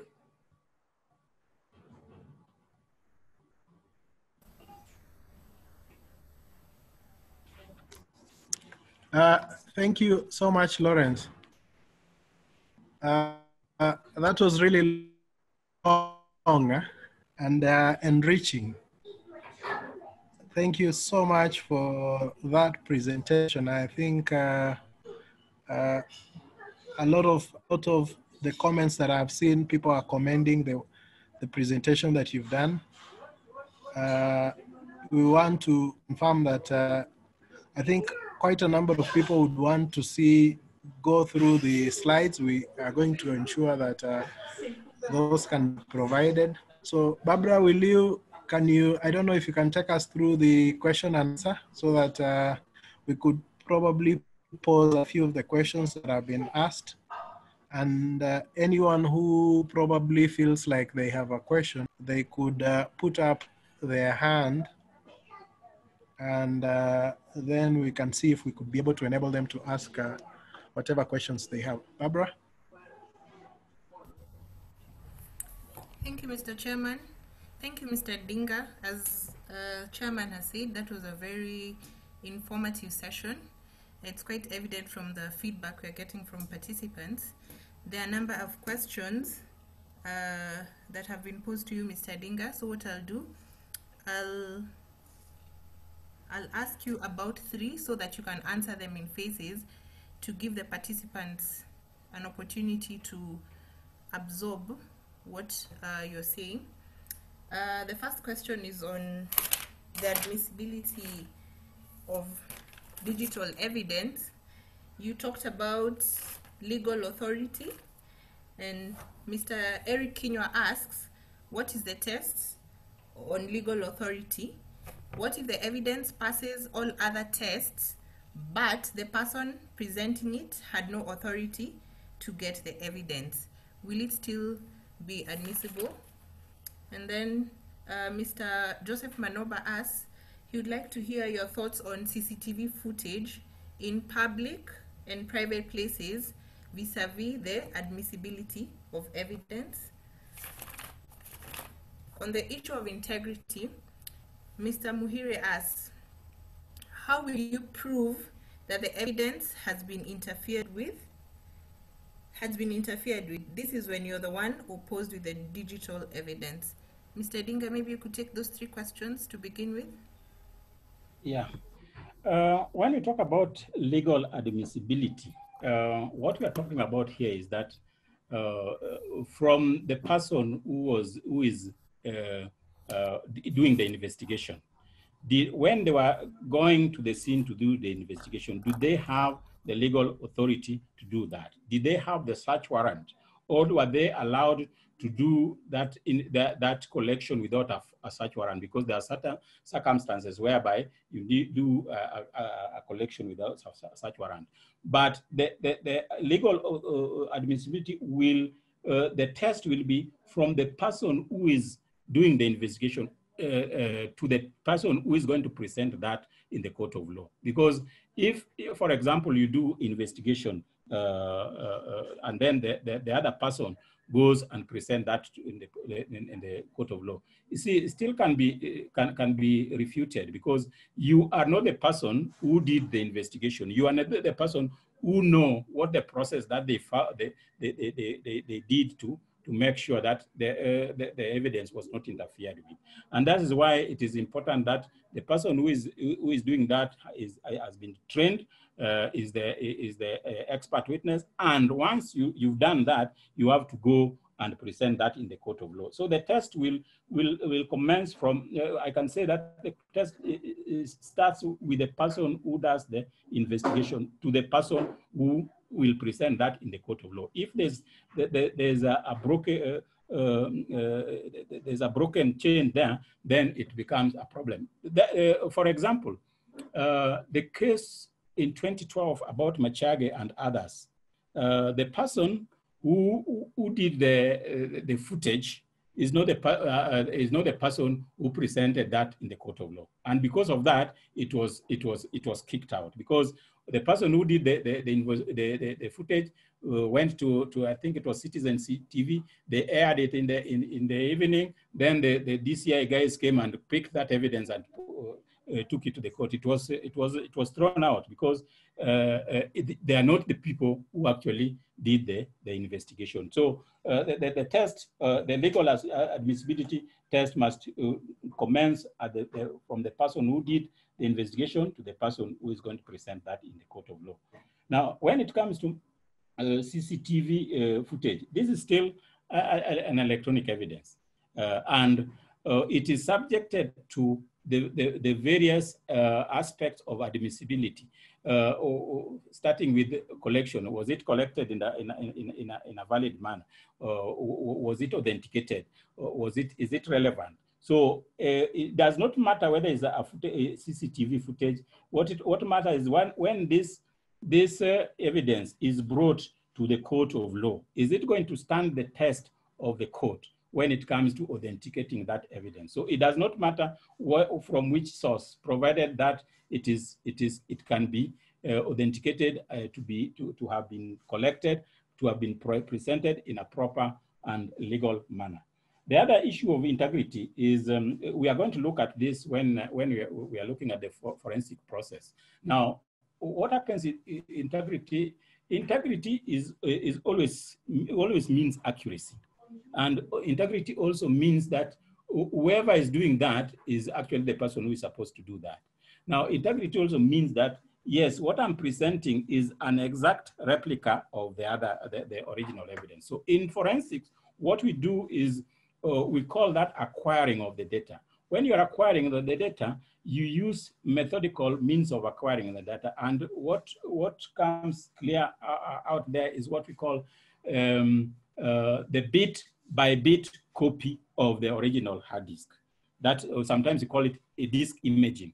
The disk imaging is different from copying and pasting because when you copy and paste, then you see you change things like dates and what, things like that. And secondly, you remember I, talk, I talked about deleted data, deleted space within the, the, the, the the, uh, the, the, hard disk. So those deleted spaces, you also need them. So that is why you do what we call bit by bit copy of the original copy or disk imaging. Now, once you've done that, uh, the, the, the, the process of doing the disk imaging creates what we call the hash values or the, the message digest. And then once you, you do the, you, you've created the, the, the, the, the copy, you compare the message digest or the, the hash value with the, the, the one which was cal calculated on the original disk. If they match, you know that that is an exact copy. So the integrity of that data is, uh, that, that evidence is maintained. I hope I'm clear. Yes, Mr. Dinga. Still uh, a number question of questions coming in on the issue of admissibility. Uh, Ms. Jamila would like to know when digital evidence in the form of a video recording involves more than one party, must all the parties involved give consent for the video recording to be termed as legally obtained for it to be admissible in court? Um, further to that, Mr. Kinywa asks, uh, for example, a phone recording, a phone recording conversation. Um, would a phone recording conversation be admissible as evidence in court? Uh, then there is, is there a way to collect evidence in a case of live streaming, specifically when it comes to child or online abuse bearing in mind that nothing is recorded? Uh, before th there's also one on you had mentioned that when we delete things from our computer we never really delete yeah, experts like you can still retrieve them. Uh, with that regard joy asks then what happens when she shifts and types delete? Yeah let, let me start with the with the, with the delete one. Now delete as i said uh, does not in any way, whether you uh, press shift delete, whatever it is, does not delete data from the hard disk. Delete, what it does, it just, it just marks that place that where the file was occupying, uh, it marks it as uh, deleted file, while it is not actually deleted. And that's why I, I say that when you bring another file, which is uh, smaller than the, the original file, then it's going to occupy that space but there's going to be residual data of the original file that was being replaced. So when you're doing your investigation, that, that residual data is very important for, for investigation because you can extract a lot of information. So uh, whether you press shift and delete, please know that uh, it is not possible to delete everything from the computer. When it talk, talks about, when we talk about live streaming, uh, just the way I talked about uh, uh, live forensic. Live forensics, you remember what I said that uh, live forensics is whereby you are collecting data while the thing is running. Now, live streaming is, uh, is uh, like also what we call network forensics. What happens that you can be able to, to capture the packets as they, they transfer from one point to the other. And then you can be able to analyze those packets and find the data that you want. There, there, there's, a, there's a, there are quite a number of, uh, uh, of uh, applications that do, do that, and that can, we can only cover into detail when we are doing what we call the network forensics. So it is possible to, to, to do, to what, to what? To collect that data and um, uh, uh, have it uh, properly authenticated uh, uh, and, and presented to court. But the, the most important, I, I told you that, see, it is not a matter of the, the, the, the, the gadgets or the software or the, the hardware that you're using to do to co collect the data. What is also important at the same time is the procedures of uh, collecting that data, uh, the processes, and the way it is going to be presented in the course. You can have very good uh, hardware and whatever, but if you don't use the proper procedure to do that, then still that, that evidence is going to be uh, not admissible in the court of law. Uh, the, the, the issue of video evidence, yeah, the video evidence, I, I, I don't know how, when you say that uh, you have to get consent from uh, uh, everybody, but see, if it is a criminal case, and uh, let's say the DCI comes in and, and, and, uh, and has got the, the, the, search warrant to do, to collect that evidence, then I don't think the consent is uh, for each and every person is needed because it can be proved that this this evidence it was it was used is going to be used uh, in the court of law and it has got some sort of uh, uh, uh, it is it is used on criminal case uh, cases and and and you can it can be used in court. So it is it is not necessary that you need to have the consent of everybody, provided these these these people have got the search warrant to do that. it, it depends on what the court the court what the search warrant says. what else? What else, Hada? Hmm. I think yeah. you've, you, you, you've captured this, uh, the questions I presented to you. Mm. Um, there's a question from Sandra. She asked, is it possible to recover data from a device that was dumped in water in order to destroy evidence? Uh, further to that, with regard to, you talked about the types of, uh, of data. With regard to residual data, and you gave an example of an 80 page document, what happens when a 100 page document is used to override the space resulting from the prior deleted document? Is the space entirely overridden? Uh, then there is, with the cloud computing, eliminating the physical element of quote unquote dead box, how do you seize digital evidence stored in the cloud?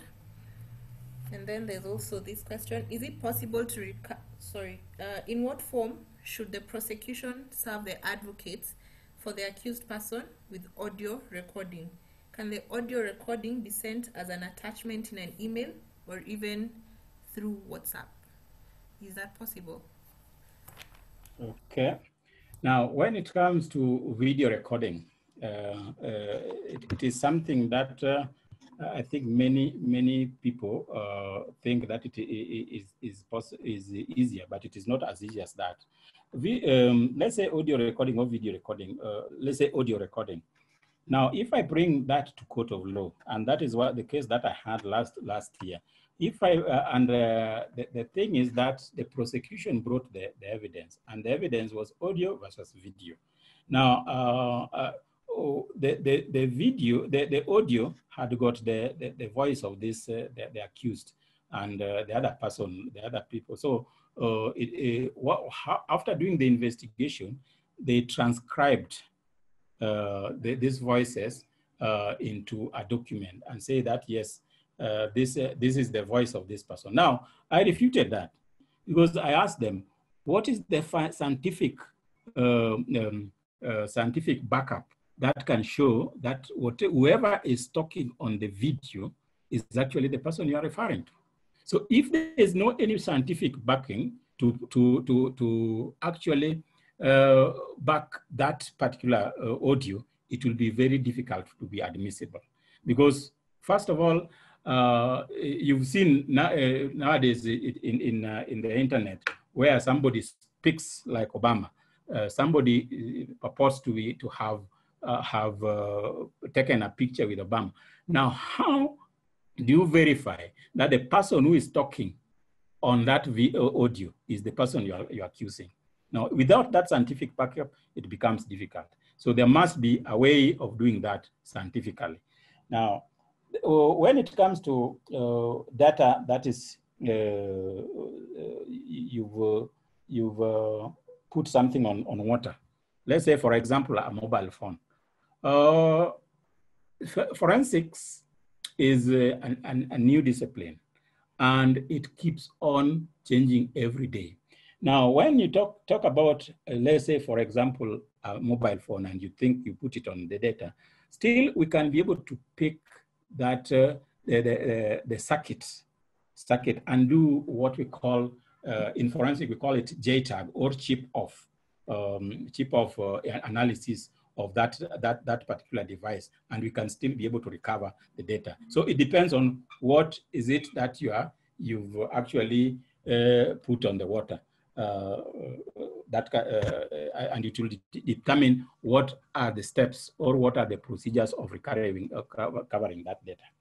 Now, when it comes to detailed file, as I said, uh, you have a 100 page document and you have, you, you have uh, uh, yeah, uh, you have a 20 page document that you've deleted, then you bring a, a, a 100 page document. They, of course, the 100 page is going to bigger, be bigger than the 20 page. So what happens is that is going to, when you copy it on, on that particular uh, sector or particular space, it is going to actually be able to, to, to cover all that space and that residual data is not going to be available uh, anymore. But still, there, uh, as I'm telling you, this this industry is actually uh, developing very fast. And uh, there are certain ways which I, can, I, I can't uh, talk about now, that even on that, you can still be able to recover some, some data.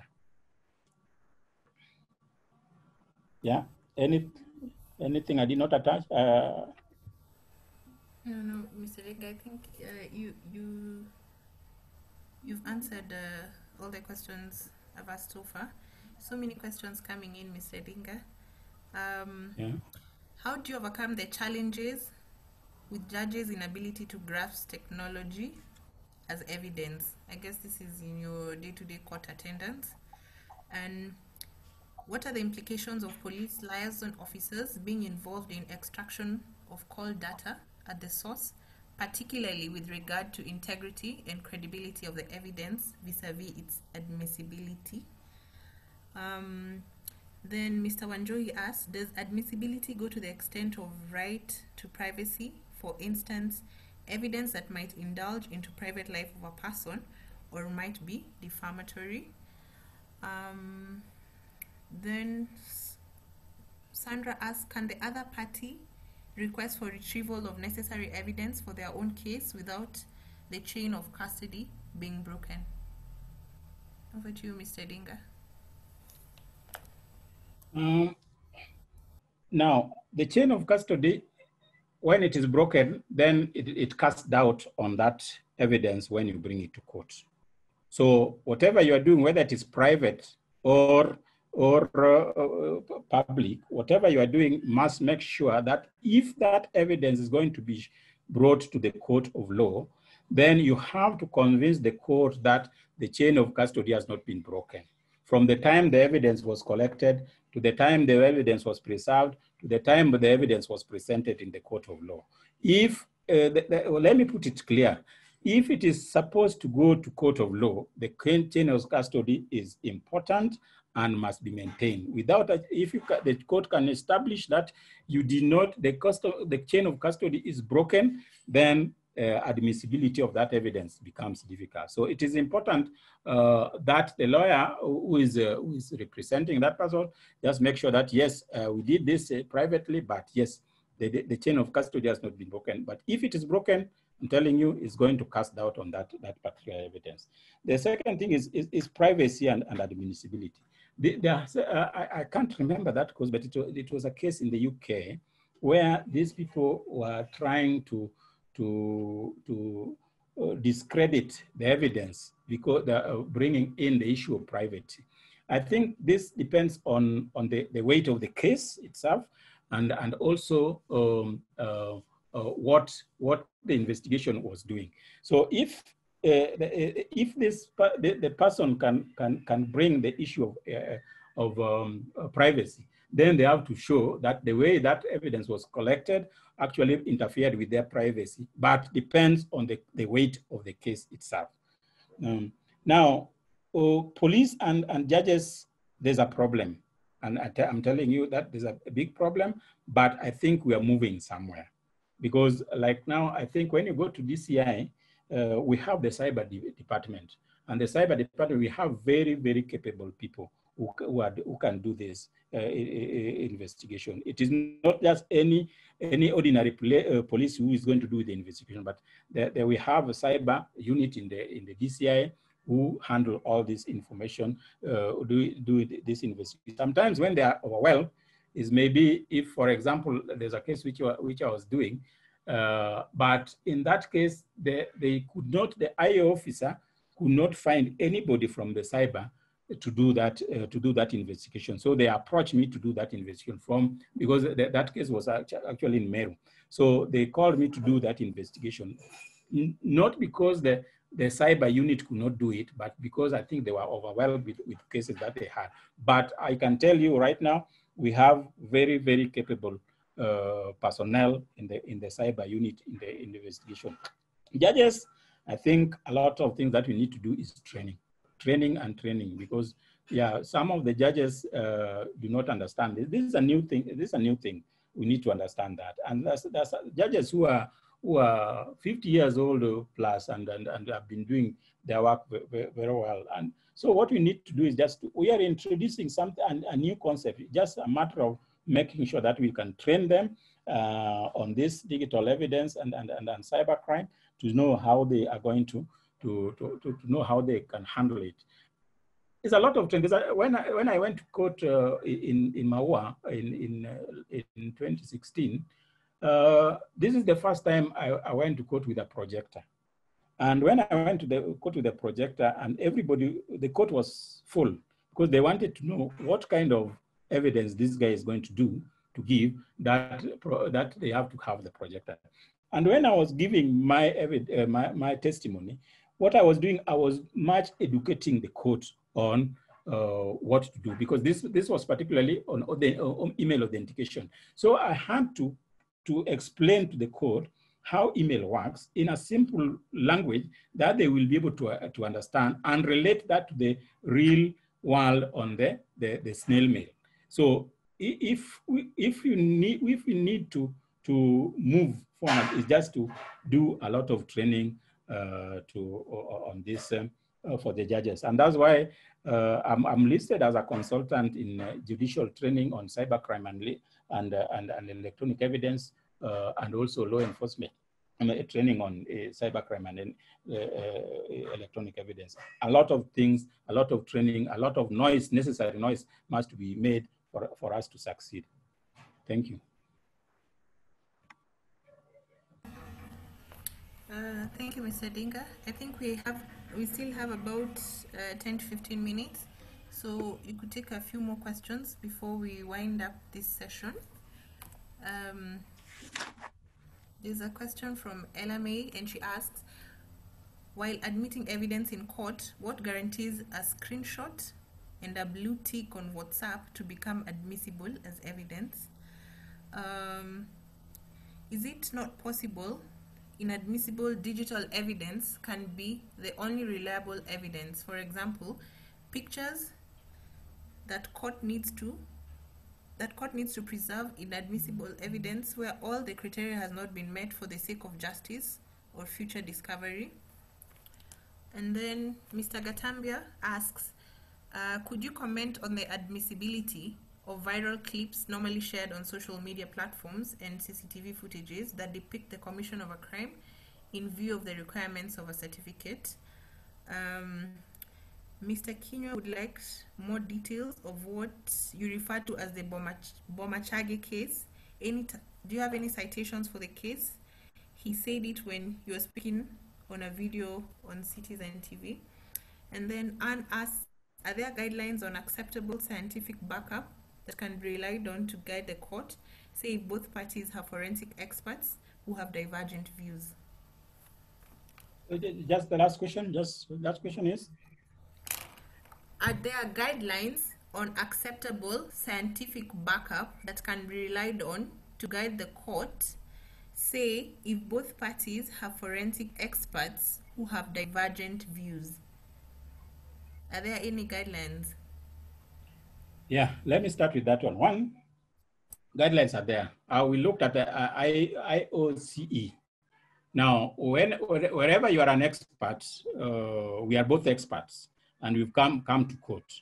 Now, what we have to convince the court is that, yes, we have followed the proper procedures and standards of doing the investigation. And uh, so these guide, guidelines are there. Uh, you can look at uh, the, the ACPO, which I showed you, the, the, the principles of, of digital evidence. So it, uh, you can use various methods on, or various hardware and software to do your investigation, but does it adhere to the guidelines that are internationally recognized? So you can look at the, the, the ACPO guideline, which I showed you uh, for principles. You can also look at the, the, the, the software, the scientific group of, on, on, digital evidence, you can also look at the IOCE.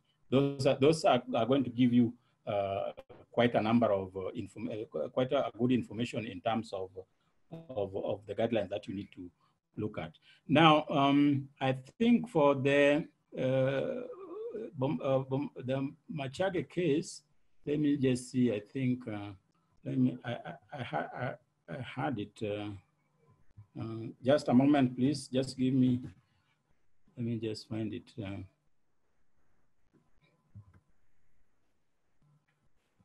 Oh, I, I, I, cannot, I can't, I don't have it. Uh, I can't fi find it here, but it is there. I think you, what you do is uh, you go to uh, law review. I think uh, you'll be able to get that case. That case is there in 20, 2010.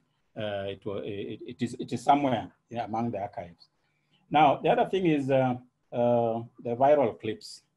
Now, the same thing I'm, I'm talking about. See, we are, what, are, what are the some of the things that you need to look at when you're looking at the admissibility of digital evidence. Here is a case whereby this person as, a, as, a, uh, the, the, the, digital is, is going viral, but who, where did it originate? Who, who, who originated that, in, uh, that uh, digital evidence? Because you cannot take it from any, any phone and present, present it to court. In, in, any, in WhatsApp, you can, you can always get the original author of that uh, digital evidence. Once you get the author of that digital evidence, then it has to pass through those procedures for admissibility of digital evidence, for it to be admitted, admittable, uh, admittable in the, the court of law. Without passing those through, through those procedures uh, and making sure that you can convince the court that the, the, the, the, evidence is original, then it will not be uh, uh, possible to be admitted. So it depends on, or as I said, the procedures and the processes uh, of presenting this evidence in the court of law in a way that it is going to be legally admissible. If it, there's, there, there's some cast of doubt on the digital evidence, it becomes difficult uh, for, for this to be, to be presented. So whether it is, it is a screenshot of, of, of um, uh, a screenshot of uh, uh, a computer, whether it is a, a, a, viral a viral video clip, provided it meets the admissibility criteria, then it is going to be admissible. If it does not meet, then it is not going to be admissible. And the court has got a way and the guidelines of making sure that the, uh, uh, those tests are done to, to, to, to make sure that they meet. So it is you as, if it's a, you are a defense lawyer and this has been presented to you, just make sure that yes, uh, do, do we test to find out that this particular evidence meets the criteria that is, uh, that is uh, required for it to be admissible. Yeah.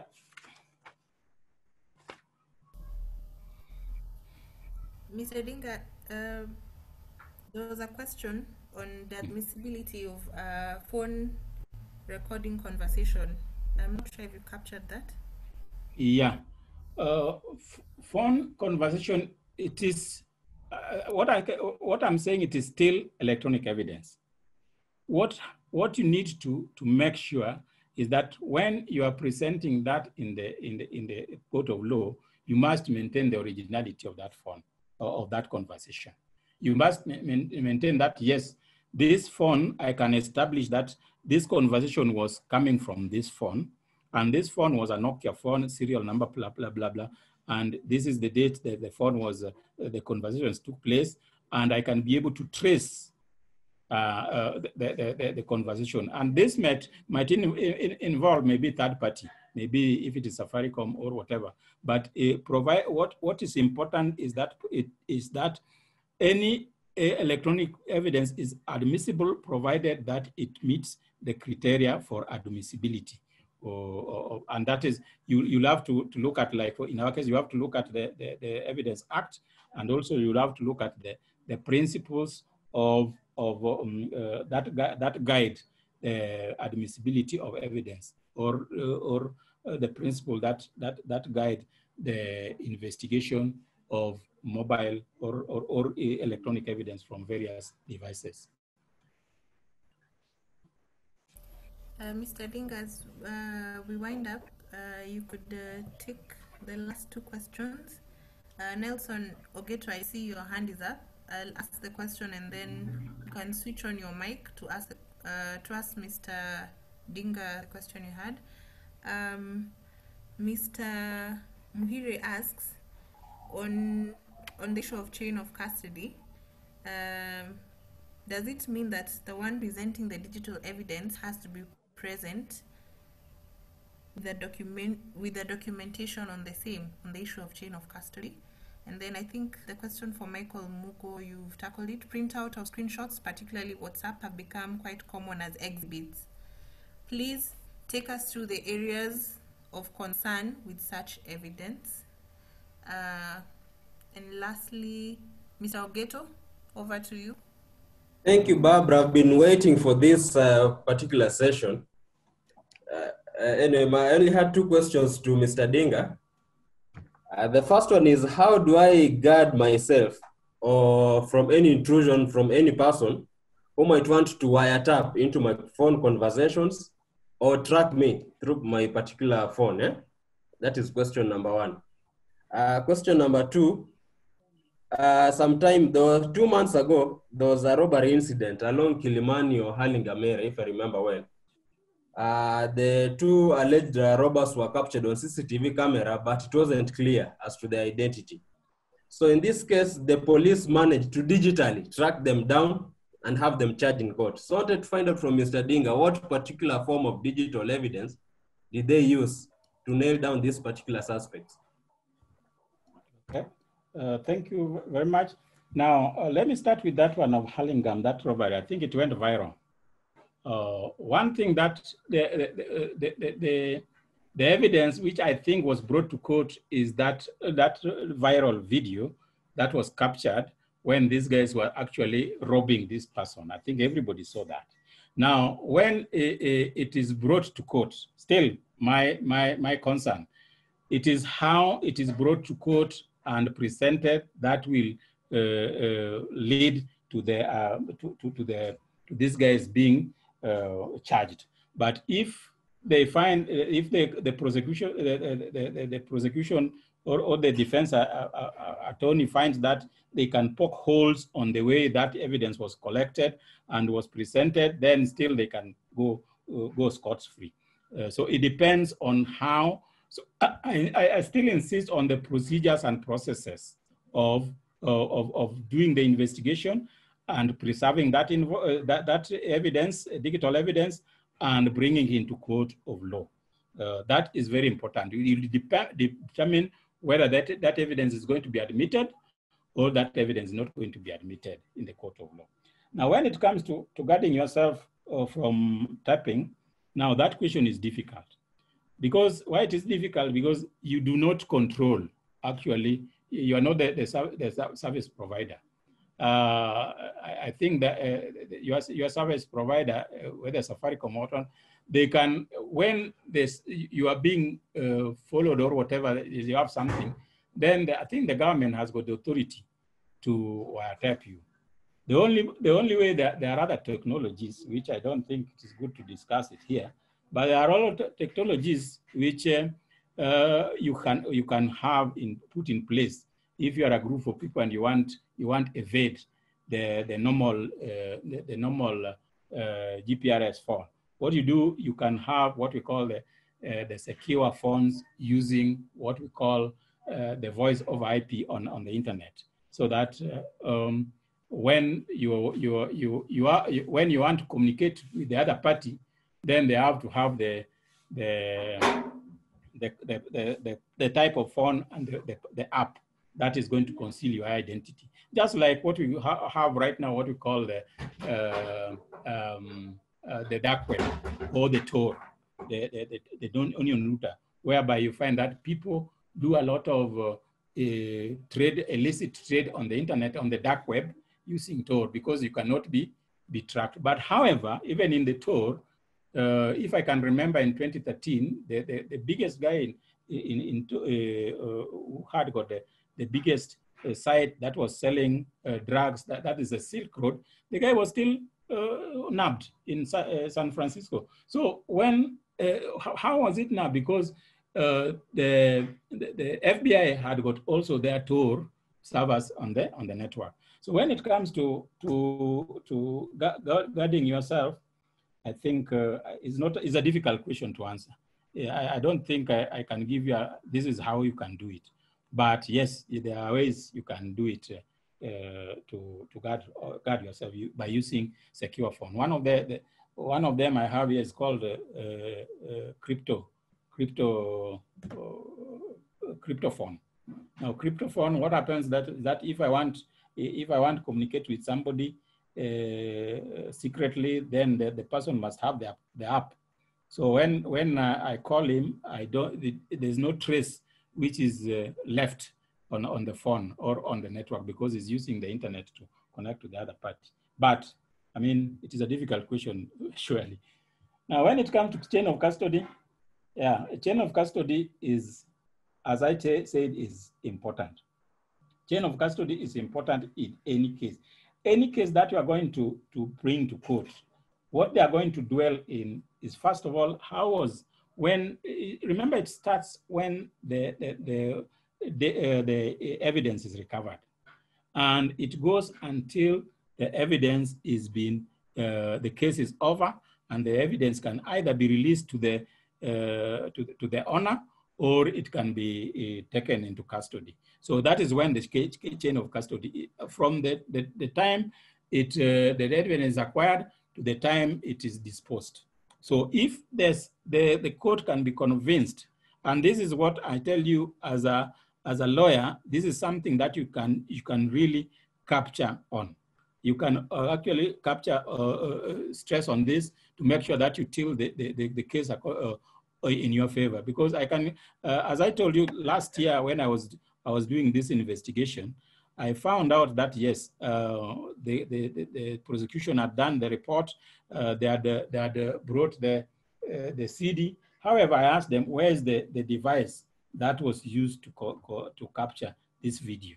They told me, the court told me that this, this device was taken again by the investigator. Then I said, no, that, that means that the, the chain of custody has been broken and we cannot trust this evidence because what we need to do is if we can get us that, that mobile-like device, then we can use it to see if we can mimic that environment and come up with the, with the same uh, uh the, the, the, same type of evidence. If that is not there, then it means that we cast doubt on the on the on the on, on the evidence. So it is important for a lawyer make sure that you insist on the chain of custody. Make sure that you know from the time the evidence was collected to the time the evidence was was uh, was brought to court. Was there a break in the chain of custody? And if there is a break in the chain of custody, then you have a, leeway to to to, this, to refute that that uh, particular uh, evidence. Back to you, Barbara. Uh, thank you, Mr. Dinga. I, I hope I've captured all the questions that were posed. If I haven't, I'll be sure to mark and ask Mr. Dinga in the next session. Mr. Dinga, thank you so, so much. A lot of feedback coming in from the participants. This was a very informative session. They say the presentations were wonderful. Most of the participants have sat in from when we started up to now. Um, if you'll allow me to read some of the comments, Dr. Owenga says that was just great, Lawrence. Uh, there are participants who are also asking for your contacts. I believe um, the same in the slides, and we'll share the slides. But I'll give you an opportunity to make uh, a parting shot. Um, uh, Ivan says you've done a good job. Basically, I think all the participants are very, very impressed with the presentation. Uh, Mr. Dinga, at this point, if you'd like to make any parting closing remarks before I close the session. Yeah, um, uh, just as I said, uh, digital forensics uh, and, and, and uh, cybercrime investigation is a new, new uh, field. And uh, if you look at digital forensics, it was just admitted as a forensic science, I think, uh, some four times back in the in 20, 2003. So it is a new, a new, a new, a, a new discipline. What we need to do as lawyers is to work together with technical people like us so that we can help you uh, in your cases. Uh, what I can tell you, the cases that I've, I've, I've handled, I think uh, I've, I've, been, uh, I've been able to help uh, the lawyers I'm working with to win the cases because what I do is that I just make sure, I just look at, if it is a report that has been done, I just look at the report that, that has been done and try to compare that against the standards and the principles in digital forensics and see where, uh, where uh, that investigator went wrong. So uh, I, I, still welcome anybody who has got any any any investigation regarding cyber uh, cyber security and digital forensics. Just you can contact me. I, I uh, gave you my number, and I think all EL, EL, ELS is also going to share my number. So you can always contact me if you have any case uh, involving digital forensics and, and, and investigation. I'll be very much willing to help. Otherwise, I thank you so much for uh, attending this session. I can see there are still people hooked, uh, which means that may, uh, the, the, session was good and uh, it is uh, a lot of information that we can get out of this. So let's continue learning uh, because this is a new display. Thank you. thank you so much, Mr. Dinga. Uh, thank you to all our amazing participants. Thank you for sitting through the entire two hours. Um, most of you have asked about the presentation. Uh, we'll share the same, the email used to register. The we'll send you the link. We'll also send you the the slides. I will send you the link to the recording and the slides as well. Uh, this is, as we had said, as David had said, this is a three-part uh, training. So we've just we've covered the first part on digital evidence. Part two will be next week on Thursday, same time on the 13th of August from 3 to 5 p.m. Uh, and Mr. Dinga will tackle digital forensic process. Uh, he'll discuss the digital forensic process, common digital forensic practices, standards for digital forensic and digital evidence as well as good practices in digital forensics so i look forward to seeing all of you please uh, share the link with your colleagues and friends so that we can have uh, more numbers next time. A good evening to all of you. Thank you david from the secretariat. Thank you mr dinga once again. And we look forward to hosting you again next week on thursday same time. May you all have a good evening.